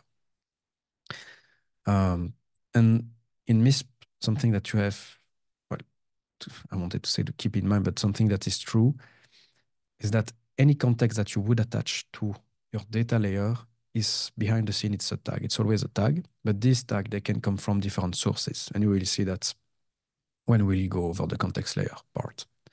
But first, let's jump into the data layer. With one of the data point that we've been dealing with since the beginning, it's the attributes. So it's a quick reminder what that is. So you remember attribute, they can be an IP address, they can be an URL, uh, they can be a binary. And uh, yeah, you can differentiate an attribute uh, so that it could be either an indicator or supporting data, also called observable. Uh, and this state can be switched depending of the to_ids flags. So the flag that designates if an attribute should be fed to protective tools or not something that we have uh, on the top right of the, the attribute box. We have multiple icon. The first one with the tags, multiple tags means or labels means that you can attach context to this attribute. So you can attach a tag on attribute. And as it was uh, also asked in the chat as a question, uh, whether it is relevant sometime to add uh, attach tags to attributes. Uh, it is very relevant. It really depends uh, on the on the type of data you are dealing with. Uh, but usually, as Alex mentioned, you would attach tags on the event, and any any attribute that belongs to that event inherit all the tags defined at the event level. So to take back our case, we have attached TLP green on the event. That means any attributes within that event are implicitly tagged with TLP green. So when we try to export, like let's say I want to export all domain from my uh, uh, MISP instance, with a domain being tagged with TLP green, even though this domain is not tagged, as the event is tagged with TLP green, the tag propagates to the attribute because they are inherently tagged uh, from the event. And so this attribute will be exported as well. But as Alex mentioned, in some cases, you want to be very granular. And so you want to especially or specifically say that, okay, this information is not TLP green, it's something else. For example, this bank account, I don't want this bank account to be marked as TLP green. So what I will do is I can specify that this bank account uh, is TLP red, for example. So you can really be granular. And that's what this small icon indicates. It means that it can have context attached to it. The other icon with the eye and the slash means that you can select a distribution level for that attribute. So we'll talk in for about distribution in like five minutes or so. Uh, but basically, event can have a distribution as you, as you saw previously, or when you edit it. But attribute can also have a distribution as well. And the last one with the double arrows means that this information is synchronized. So that means when you publish an event, uh, this information will be shared to other MISP instances, which is exactly the behavior that we want. I mean, if you encode IOCs, you want them to, you, you want to share them with uh, other people. All right, so that's it for attribute. Objects. So you saw object also. Uh, once again, objects, they are basically um, higher level concept, like a, a bigger building block that combines multiple attributes together when makes sense. And so this composition of attributes, they're all defined based on a template, template that has the same name as the object. So in this case, the file object has a file template that describe what a, file object looks like. And we have like other example of what an object could be. It can be a file, person, credit card, device, uh, URL, and so on. And something that I have forgot to mention when we were dealing with the event graph, and that's also one of the reasons why we like to create object, is these arrows, these relationship that you create, you can only create them between objects, or to be more precise, when an object is the source of the relationship. So in this case, you have an object and another object. So you can create a relationship between these two, either way. This one is an attribute. You can create a relationship from an object to an attribute, but you cannot create a relationship from an attribute to an object. That's a limitation in the system. Um, and it's also an incentive for you uh, to use object. All right. So one big advantage to use object, basically, you regroup information that makes sense together and you can create relationship between entities. Uh, when I say you regroup information that makes sense together, imagine you would have, uh, I don't know, three files. With these three files, they would all have uh, MD5, SHA-1, SHA-256, and a file name. And you would have all these file hashes like mingled in this table.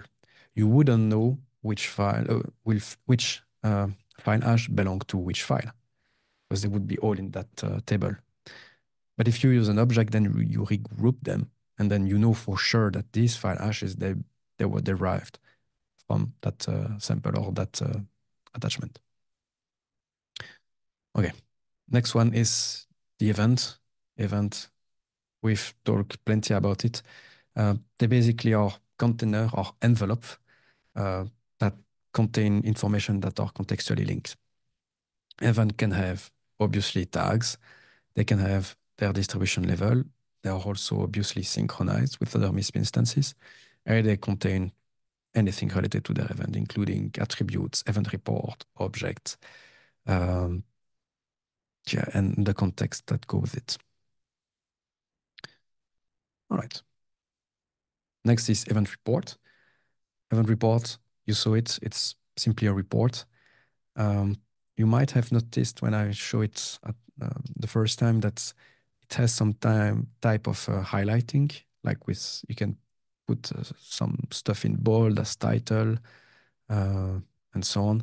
This is because reports are basically uh, supporting Markdown, so they're Markdown aware. uh, so that you can format your report quite easily and it's pleasant to read. But something that I haven't mentioned is that these reports, they they have been like the, in addition to being markdown aware, they also have a special syntax to reference data that is contained within an event. To show you an example, if I go back to my event, I look at my report. See, I can edit it. I can add a bit of syntax. Incident.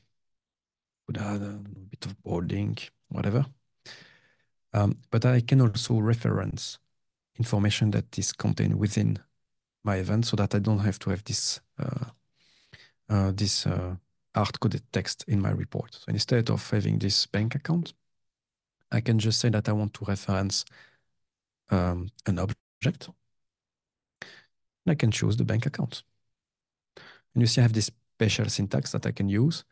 And in the report, it shows me the bank account with anything that is interesting. So I would see not only the bank account, but also the object in which this bank account is part of, and any tags that are that are attached to that attribute.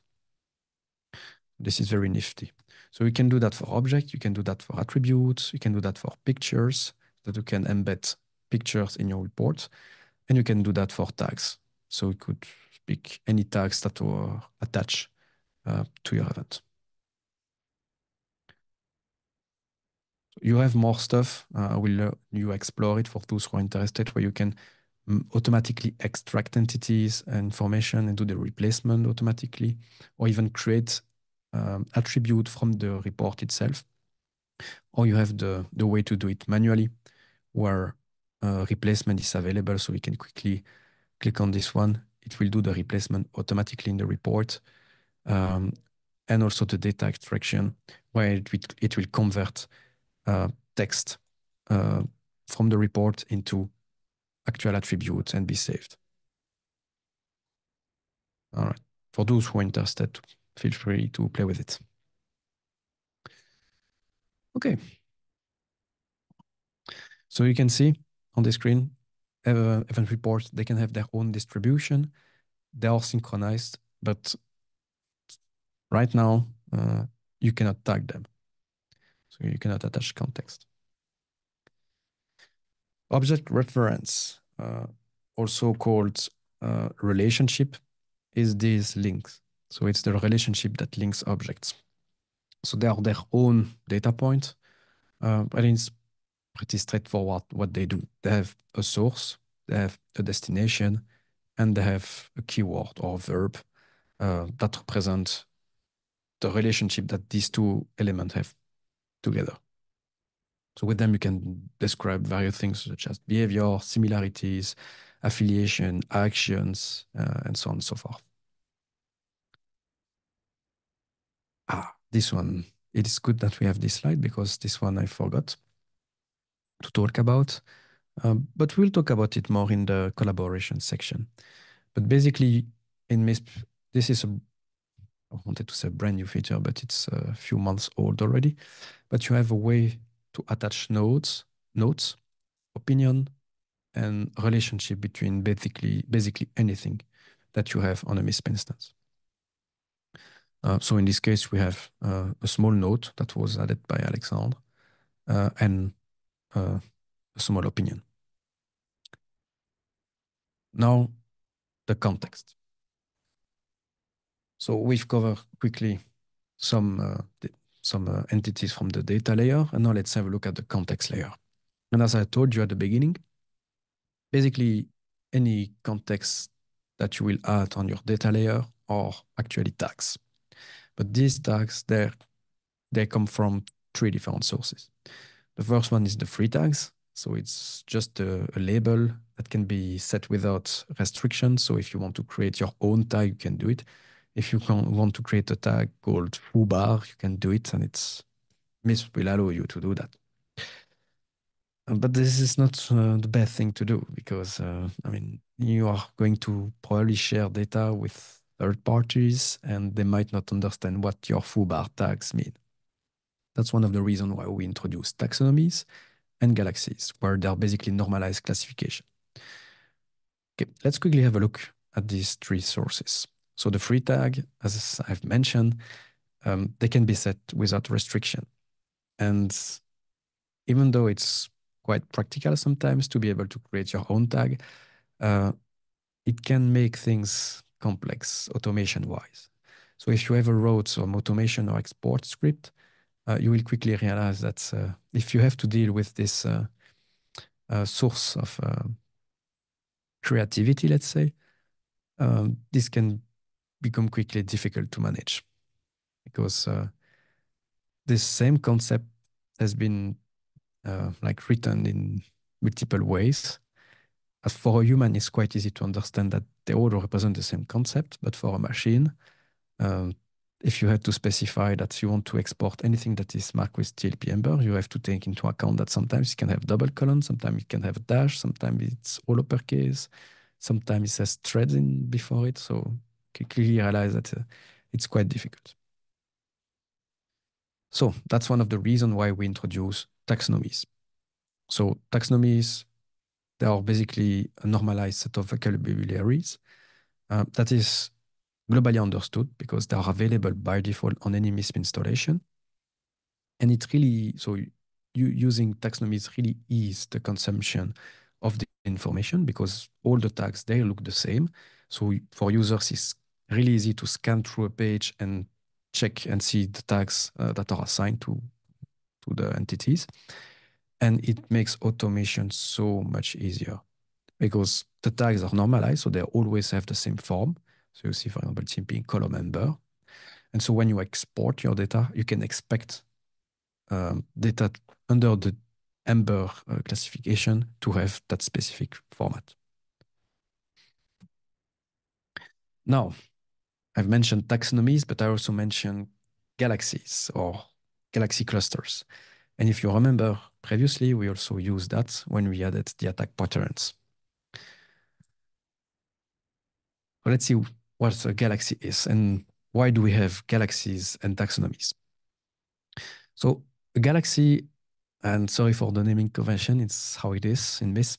So a galaxy is actually the name of the collection, and the cluster is the name of the item in that collection. So we have a small example. If we use the country galaxy, um, the name of the galaxy is country, and the cluster in that galaxy would be, for example, Luxembourg. So basically, it's just an item in that collection. So in the country galaxy, we have the cluster Luxembourg, but we also have the cluster Germany, we also have the cluster France, we also have the cluster Belgium, and so on and so forth. So in addition to just being this normalized set, because it's really, for now, it just looks like a taxonomy, right? But it's more than that. In addition to being normalized, these clusters are also, as it says on the slide, boosted by metadata. So what I mean by boosted is that you have um, some meta information associated to that cluster that gives a lot of lot more information. So in this case, we have on the, the page three screenshots. The first one is a threat actor APT29 attached to an event. Then that APT29, we see that it has some relationship to other galaxies and they are that they are linked to other clusters. So APT29 from the threat actor galaxy has a relationship that says that it is similar with a likelihood probability of likely to the APT29-G0016 from another galaxy called MITRE Enterprise ATT&CK intrusion set. So if you have if you are using other like sources of classification of threat actors, sometimes it makes a lot of sense to have this relationship because uh, if you are dealing with uh, a lot of threat actors, um, you you probably realize that vendors they like to call threat actors by different names. And so having this relationship is really really cool to have because you, you might be wondering, okay, APT29, but uh, uh, I mean, I don't know APT29. I know the name Cozy Bear. Uh, so you would see that uh, that relationship. And the last one, the screenshot at the bottom, is uh, a key value that uh, key value table that gives also a lot of information about that cluster. So in this case, for APT29, this is just a sample because we have way more data for this one. But we have like the suspected victim, um, the state that is sponsoring uh, that um, that threat actor, and much more information. Uh, to give another example with Luxembourg, the cluster Luxembourg, what we would find in this table would be, for example, the TLD, uh, the currency used, the uh, the capital, for example, uh, the amount of people living in that country, and so on and so forth. So it's meta information related to that cluster. So quick table to compare the two, galaxies and taxonomies. So both of them, they are normalized classification, right? Because they are all written in the same way and they are globally understood by everyone.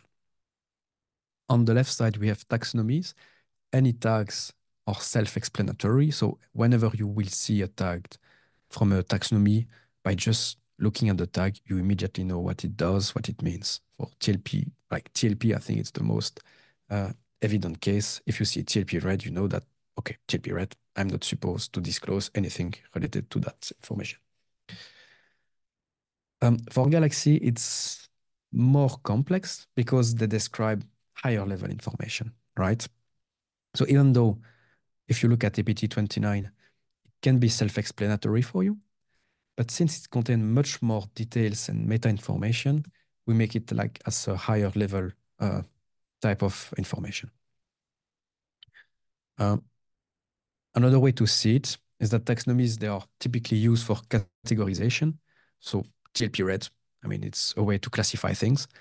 Um, while Galaxy, they are usually more used for providing contextual information.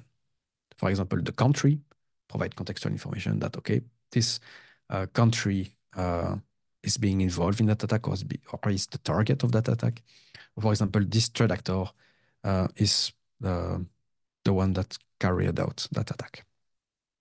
And some example of taxonomies and uh, galaxies, TLP, adversary, phishing, false positive that we haven't talked about that allows you to estimate how likely is this data point a false positive or not. And on the right side, galaxies, for example, it can be like the country galaxy, the threat actors, MITRE ATT&CK that we've talked about a bit, uh, yeah, and other galaxy matrix that looks like a MITRE ATT&CK matrix. Okay, quick usage on tags. So you saw me tag stuff already. Oops, click pivot between the slides. Okay, so let's quickly recap what you can do with tags. So tags, they can be attached on different elements. You can attach them on events. We've done that already, like this. You can attach them also on attribute. We've done that already. But something that we didn't do is that you can also create what we call a relationship verb. So let's, for example, consider this case if you have a threat actor called so threat actor Earth Lusca, um, so this is the cluster Earth Lusca, and this is the galaxy. And you can see we have that relationship verb that says that um, the incident or attack is attributed to this one. Same with country. So country in this case, we can see that China uh, so China carried out that attack because it says that this uh, incident is attributed to China. But what we also see is that China is also the target of that attack. So you can see with these two clusters, they are basically almost the same, but one's, one is actually the one is performing the attack and the, the other one is the target or the recipient of that attack. Uh, and we can see the, the producer, Trend Micro, and we see that this blog post or uh, I don't know what exactly this event was, uh, but the information was authored by Trend Micro. So you can see sometimes it's not enough to just provide the clusters and the contextualization. Sometimes you want to add a relationship that link this piece of context with the uh, the element for which uh, to which it is attached to. And this is exactly the purpose of these relationship verbs. So let's quickly see how you can do it. Um, let's let's say that this successful scam was uh, uh, is being uh, done in Luxembourg. So full namespace, I would take country or target information. I kind of like target information. And then I could say Luxembourg. You can see all the different synonyms. So if I were to search for, uh, instead of Luxembourg, for uh, Grand Duché, you can see that detects the, the synonym correctly. But this is quite cool, the support of synonym. So I am adding this. And then if I want to say that, okay, this uh, attack targets Luxembourg, so I want to add the targets uh, relationship verb, I click on this small button, modify tag relationship. Select targets, click submit, and there we go.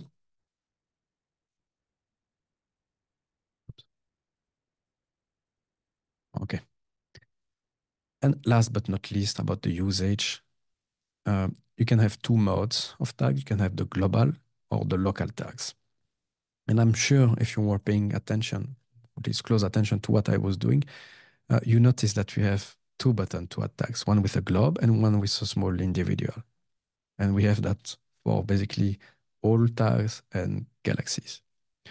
So this might be a bit confusing, but this is a global tag with the globe and a local tag with the small person. So the difference between the two.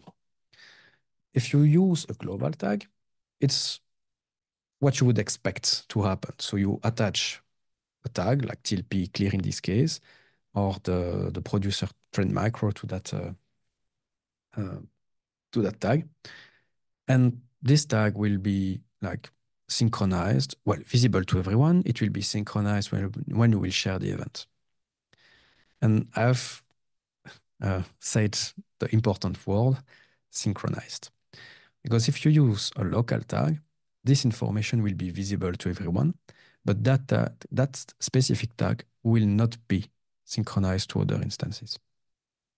And so typically when you encode information, you will always use global tag and local tag, you will use them mm, most of the time when you want to introduce some kind of automation or collaboration within the same team. So in this case, um, the author of that event attached the tag workflow to do, review the source credibility. So if um, I was working in a team and one of my colleagues attached this tag, I know that I have to review the credibility of the source uh, to make sure that this event doesn't have many false positives or to make sure that data is relevant and that uh, information is legitimate. So it can be used for like collaboration or coordination, but also for automation. Like if I have a curation pipeline running, uh, like uh, that would automatically uh, fetch the data and review the source credibility with some scripts. Automatically, my script can like collect any data that are marked with that tag, process it, and then get rid of the tag. This is something that is quite uh, frequently done in the in the industry. So to to make it short, global tag so that it's visible and shared to everyone. Local tag, it stays on your MISP instance. It's not going to be synchronized and it's typically meant for coordination or automation. All right, now touching the subject of correlation and that we've talked quite a bit already about correlation, but let's see how it works in practice. So you, this is a, a, big event that correlates a lot. Uh, to make it short, correlation, they are basically linked link that are created automatically, so you don't have to do anything, between attributes that belong to different events. So you remember when I created my event there, automatically um, correlation link were created with event that you created when I was doing my own event. And so they are based, so these correlations, they are based on attributes. So you can see this attribute has been added and it is also included in another event. So correlation are done across event based on the attribute. So if you see, oh, it's not really visible, but uh, um, so on the left side, you have one event that contains multiple attributes, that contain multiple objects. And on the right side, you have also another event. And what you can see is that a correlation in MISP is created automatically and it links attribute that belongs to two different events. But how does it link these two attributes? Well, it, we have like three type of correlation. The first one is what we call the string value correlation, where the exact same value must be present on the other side. So if this attribute has the value deadbeef, to have a correlation with the string value type, the attribute on the right side must have the exact same value deadbeef. Okay. The next one is what we call CIDR block correlation. It's basically if an IP address is contained within a CIDR block defined on whichever side, you will have a correlation uh, created automatically. So if you have 1.1.1.0 slash 24 on the left side and 1.1.1.128 on the right side, as this later IP address is contained in the CIDR block on the left side, you will have a correlation link. And the last one, which is very uh, nifty when you are dealing with uh, uh, malwares and so on, is what we call SSDeep hash. So SSDeep is um, what we call uh, fuzzy hashing. So basically when you have, um, okay, so to quickly explain uh, what fuzzy hashing is, if you have a file and you compute a file hash of that file, for example, MD5 or SHA-1, um, you will have a fingerprint. If you change one bit in the original file, the fingerprint will be totally different because the two uh, files are not the same. But with fuzzy hashing, if you flip one bit on the original file, the resulting fuzzy hash will be almost exactly the same between the two files. And so as it will be almost exactly the same, you will be able to draw conclusion that uh, these two files might be related or are actually really close. And so this is more or less how it works. Obviously, everything is configurable. So if you go in the settings, you can set the different thresholds and so on. But it's very nifty to see that two files, or in our case, most of the time, at least in our uh, uh, use case, these two malware samples are really close to each other. All right, and now that I've explained to you um, how correlation works, now you might understand why I was a bit uh, pushy in exploding that URL. Because now you know that what correlates is actually the attribute, not the object, so the whole attribute. And so if that domain name was reused, and instead of having assets slash bin.exe, we would have assets slash bin2.exe. So if I do this on the URL, look, now on the right side, we don't have correlation anymore. See, we have this correlation for these uh, attributes because one of you encoded these as attribute, but this URL, even though it's almost the same as uh, the one that it used to be, we don't have any correlation anymore because the exact value is not the same. But if you explode that URL into multiple components, you still keep this correlation.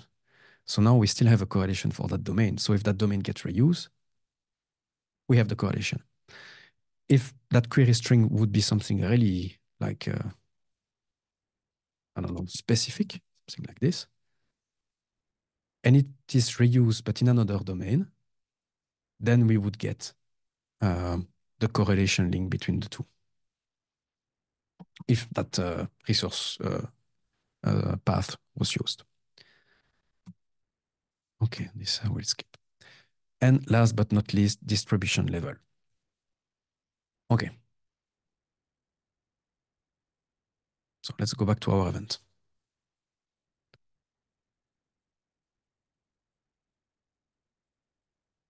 So distribution, when you create an event or you edit an event, you can see we have many distribution uh, to choose from. We have your organization only, this community only, connected communities, and all communities. So let's see what, what it means to select one of these. The first one, and the one we used so far, is called organization only. That means only your organization, when I say your organization is the organization uh, uh, that is assigned to your user. So only your organization can view the data. If we go back to the event I created, this one, this one has the distribution your organization only. That means if you connect uh, to the instance and have a look at the event index, you won't see my event in the index list. You will still see the event of uh, other people that created event today. So these five events, you will still see them because you are all part of the same organization. But my event, uh, as I'm not part of your organization, your organization is org main mine is org name, and the distribution is set to organization only, you are not able to see my event in this list. But what I will do now is to make it less restrictive and use this community only. So this community, it basically means the server on which you are on. So now that I've changed the distribution to this community, now you can view my event because we are all on the same community. And when I say community, I mean this MISP server. So as we are all on this community, you can all see my event. Okay? But so far, we haven't introduced the concept of sharing, right? Because organization only means only me can, only me and my organization can view it. This community means anyone that have access to that server can see it. But if you want to actually start sharing, you have to pick something even more lax than this community. And that could be connected communities. Connected communities means basically this community, so any users that, are, that have access to the server, but also any connected servers to the first one. So if you have a look at a small graph, or diagram, sorry, if we start from the gray MISP on the right side, each box is a MISP instance, okay? So we have multiple orgs in this MISP instance. If you select this community, only the organization that have access to the gray MISP instance can view the data. If you use connected communities, any organization that have access to the gray MISP instance can view the data, but the data will be shared to the connected MISP instance that are connected to the gray MISP instance, but not further. So the yellow that is directly connected to the gray will receive the data, and the red that is connected to the gray will also receive the data. But green and purple, they won't receive it because it's only the connected communities that are allowed to receive the data. And the last one, as you might guess, all communities basically means no restriction on propagation as long as there is a connection. So if I were to select all communities, now the information can be propagated to the yellow, red, but also the green and the purple one.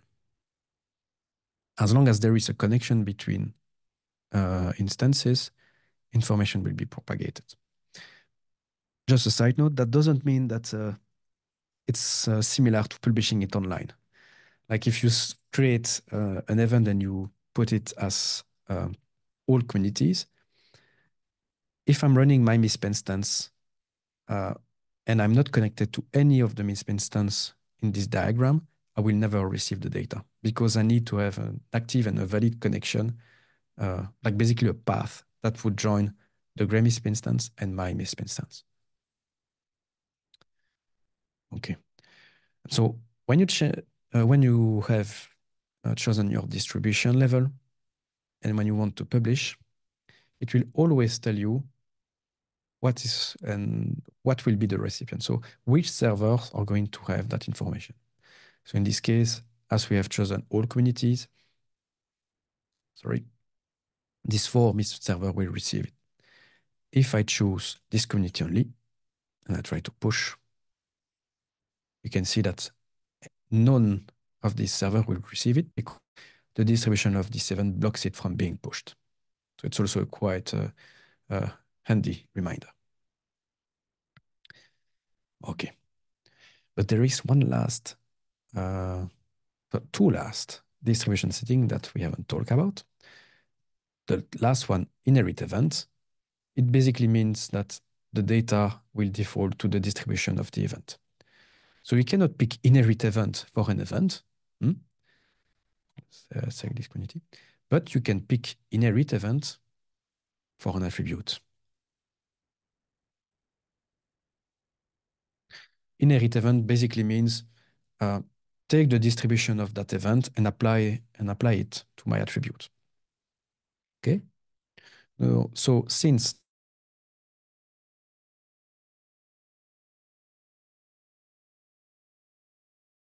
mark with inherit event are also assigned this community only. And now if you remember what we did previously, we changed the distribution setting from inherit to organization only for some element. We did it for uh, the object bank account, and we did it for the object person. That means, regardless of the distribution of my event, I'm forcing the distribution of that object to be your organization only. Right? So you can really be granular with that.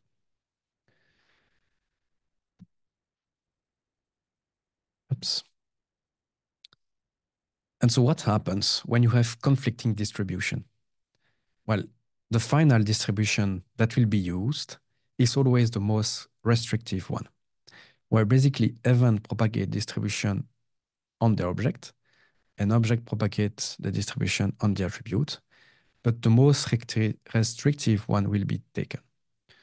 Like in this example, let's simulate this one. So the event is set to all communities. Then we have an object that is set to org only, like in this case. And then we have an attribute that is set to connected communities.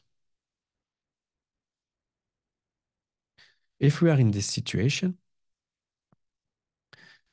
this, this attribute and basically this whole object will never be visible to anyone outside of my organization because the most restrictive distribution is taken. Even though all communities and connected communities are used for uh, the event and the attribute respectively, your organization only overrule any of these distribution and force it to be that way. Okay. And last but not least, sharing groups.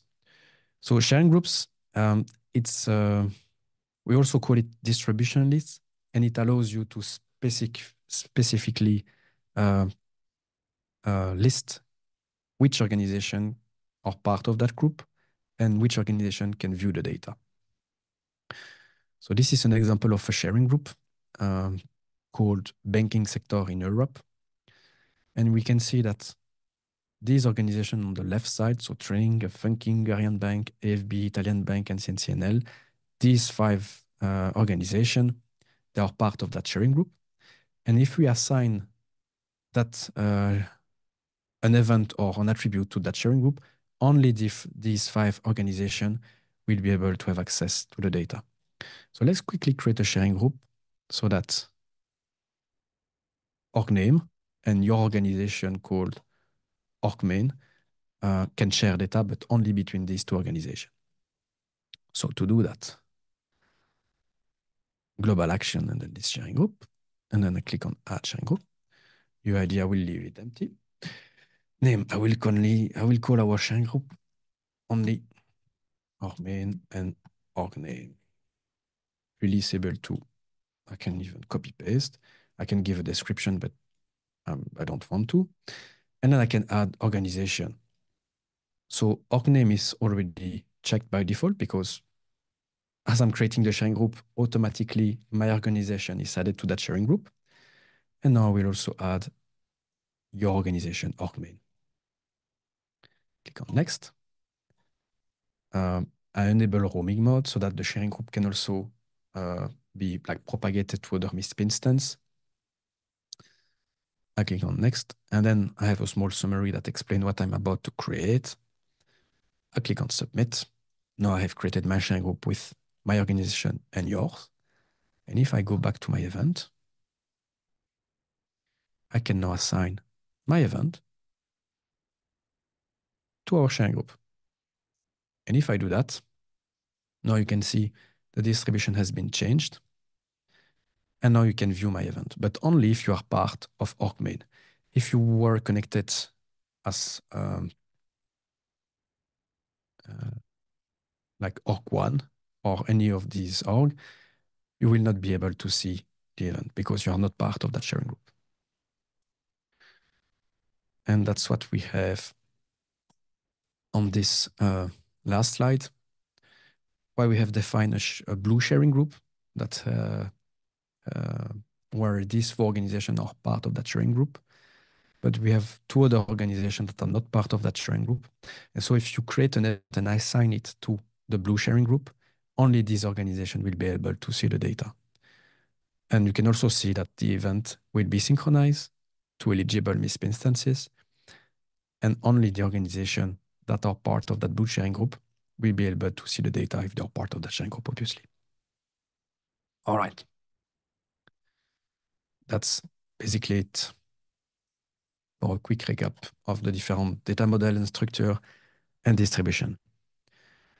So now that we've encoded information, sometimes you want to search for that information and to aggregate it. So how can you search for information? Let's take, for example, that domain. When you're in this uh, event index view, you can obviously search for attribute. You just need to click on search attribute, and then you have this form that contains a lot of filtering uh, option for you. But most of the time you will just use the first box, which is like you are searching for any attribute that contain this expression. You can specify the type of the attribute or the category, but you can leave it empty. You can click on search and you will get the result. So I can see that this attribute, so that domain, um, is part of one, two, three, four events. So event 58, the one I created, it's your name and these four events that uh, other users on this instance have created. You see, it's quite easy to do. Uh, you can also enforce the fact that this attribute should be marked as a IOC. And we'll see quickly see that we all did that, uh, that uh, part. So we all flagged that attribute as being meant for protective tools. Okay, so that's one way to find attributes. But you can also uh, search other data points. For example, you can search for the event title. So if we search for scam, event info, click on filter, and then I will get any event that have the word scam in their title. Um, if you know the ID UID, you can do it as well. If you know a tag, you can also do it like uh, green. Ah, TLP green. There we go. You will have all events that are marked with TLP green. But you can be even more precise. When you're viewing this index, you have a magnifying glass there. And if you click on this, you have a kind of query builder that allows you to specify a lot of things. For example, tagged, we used uh, TLP green previously. So we can add that condition. Then you can say that you want um, that the organization that created the data is org-main. And you want the distribution setting to be, I don't know what you guys used. Let's say all. You apply and you get the result. So you can see org-main, TLP green, and distribution setting all. Right? And this creates a URL that you can share, obviously. Or even better, that you can bookmark. So whenever you're on this, oops, click on this, and you have it bookmarked. Quite handy. And the last aspect on where you can search for data is in the event itself. So you can quickly search for an attribute value. Mm -hmm. But you also have that query builder thing uh, that is hidden in the filtering tool button there.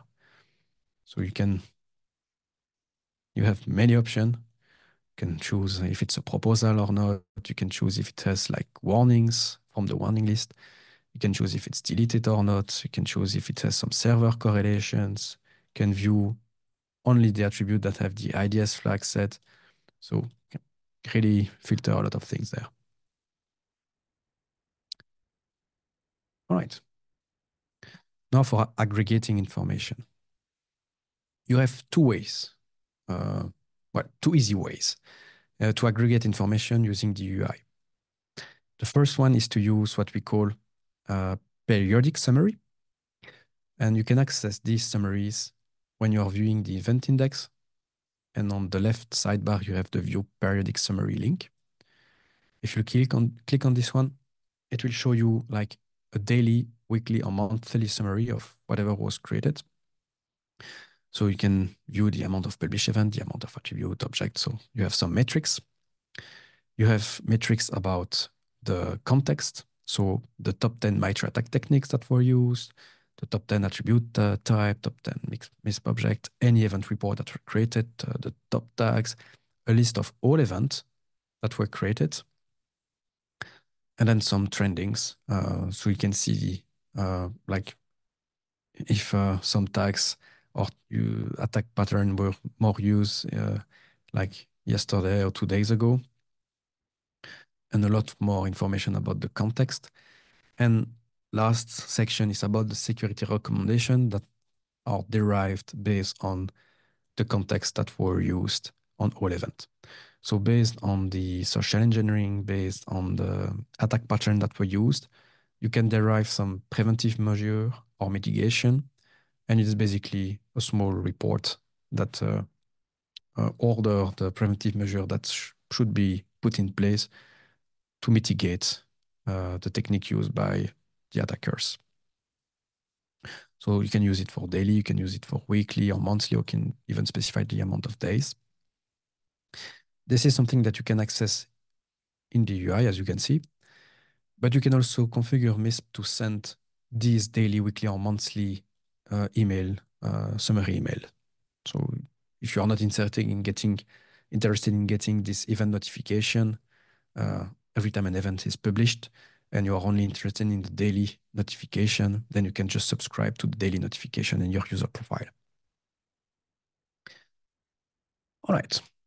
So we have uh, like something like 10 minutes left, and we'll quickly go through some collaboration features that you can use uh, to collaborate uh, in your team or to collaborate with third parties um, and so on. So let's, I will take one of your events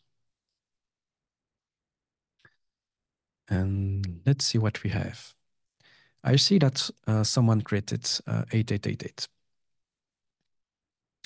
Um, so 8888 for me, I clearly see this is um, a false positive. So there are multiple things that I can do.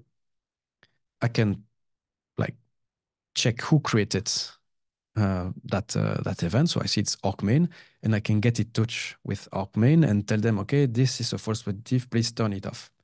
But this requires creating an email, writing the email, and this is not very convenient. And yeah, especially that we have a system that could be used for that. So if you if you want to tell someone that uh, they did a typo or mistake, or maybe at some point this was valid, but it, now it's not valid anymore, you can create what we call a proposal. Creating a proposal, it's easy.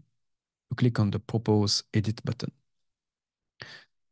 And now you can view it's a form that is really similar to the add attribute form. You can see add proposal, add attribute. It's really similar. But we are not creating an attribute. We are creating a proposal. And in this case, what I'm doing is I'm just asking you to turn off the IDS flag for that attribute. I click on propose. And what we have is a proposal. You can view it. It's clearly visible with the orange color. These proposals um, latches onto the original attribute and uh, the recipient, so the one that created the event, can view that proposal and they can decide to accept that proposal or discard it. right?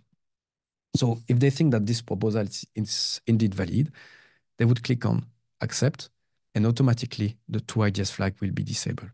If they think this is not interesting and they want to keep it that way, they can just discard the proposal and it will be simply ignored.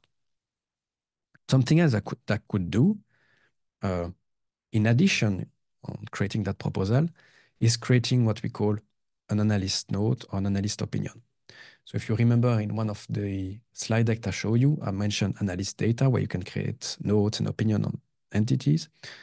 And you can do it on attribute, obviously. So if I click on this one, I can add a note or I can add an opinion on that one.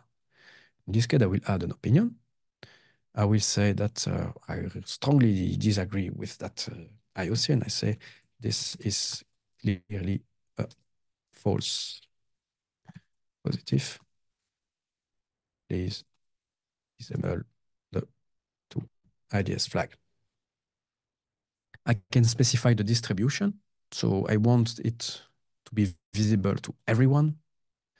Uh, I can say that I'm the author.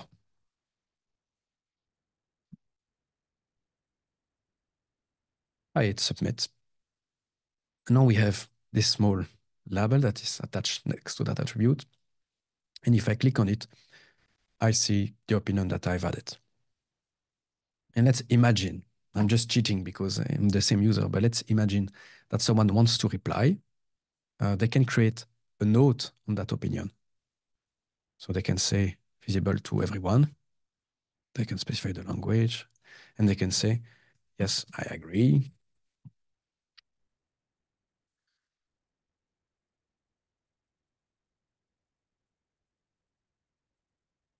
Oops. And now you can see that we have attached this note on the original opinion.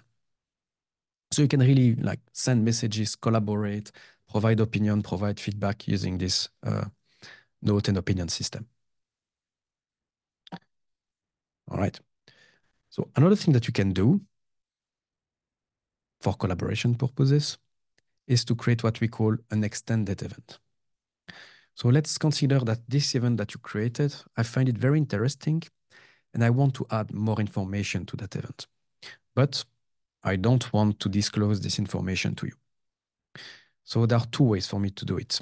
I can duplicate that event, but this is not really efficient because I would have like to, to create all the object, create all the attributes, and it will like create some uh, space on the in the database, create some overhead and so on, which is not something that I want. I want it to be efficient. So what I can do is create an extended event. An extended event is basically a new event, but this new event has a link to the original event that says that my event is an extension of this other one. So to create an extended event, it's quite easy. You just click on this button, extend this event. You will end up in this form, add event. So you remember this is the form that we filled in the beginning to create a new event. But this extend event uh, field that I've purposely ignored is pre-filled with the UID of my event that I'm currently extending. So the only thing that I have to do is to, if I want, change the distribution level so that this event is only kept to myself, and I can say something like additional information about this case that I don't want to disclose to third parties, for example.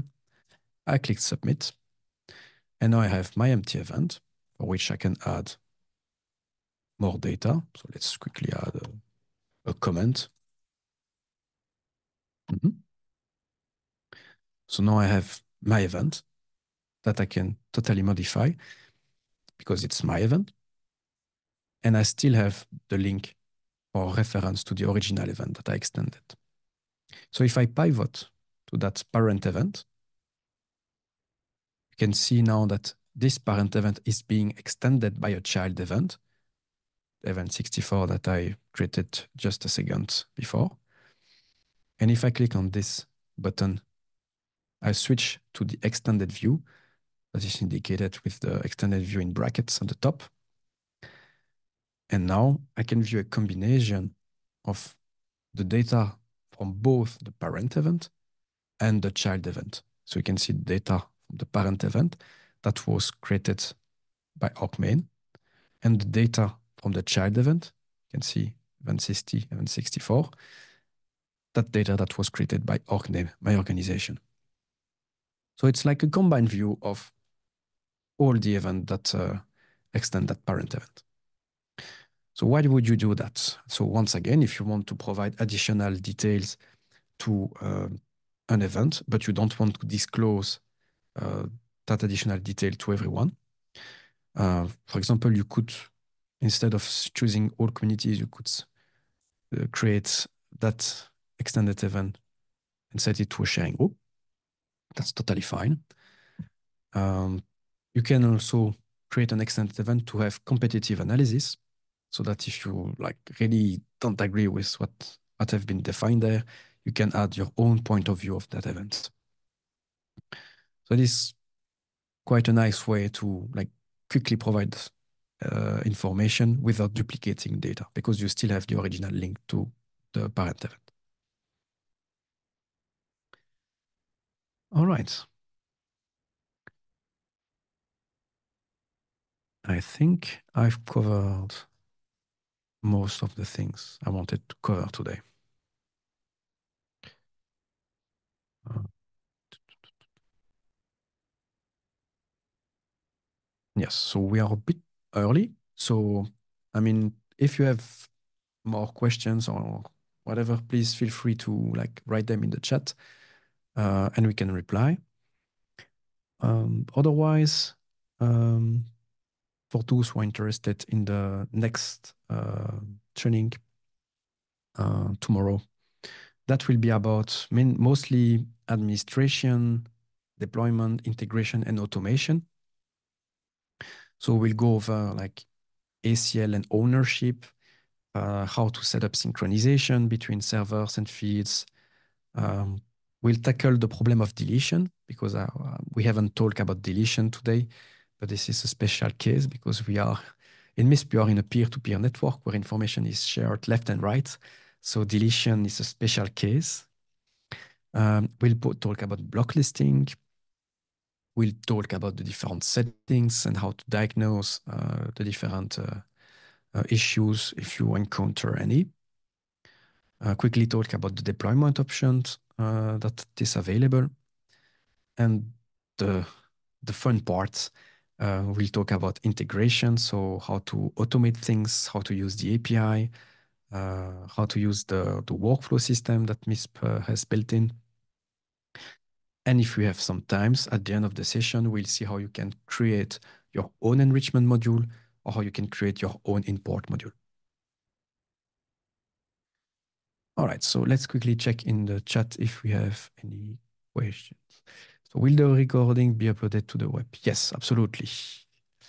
Um, okay, does LDAP work in this? Yes, it works. Uh, you have to configure it yourself, but we have many authentication plugins for that. Quickly show you what we have available. Uh, so if you go on GitHub MISP, Ah, men not Oops. Oops. Oh. No, it's not there. Sorry. Okay. So these are um, all the authentication plugin that we have available. So we have uh, uh, LinOTP, we have, uh, oh no, it's Active Directory, we also have OpenID Connect. Uh, and in each of these folder, uh, we have a small README file that explain how you can configure this. Uh, so this is for Azure AD, and I believe we have one. Um, where is it? I know that we have one for LDAP. Don't remember exactly which one it is.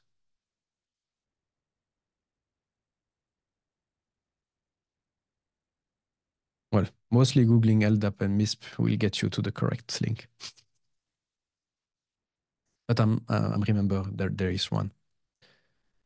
Uh, oh, perfect. So Alex pasted a, a documentation. About that specific one.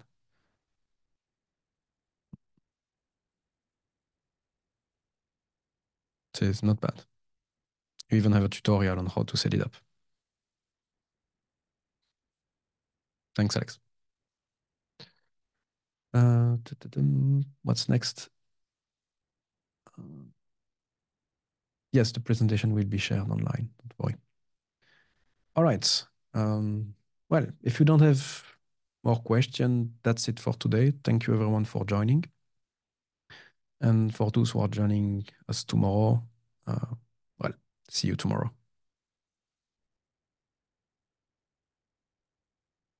Thank you.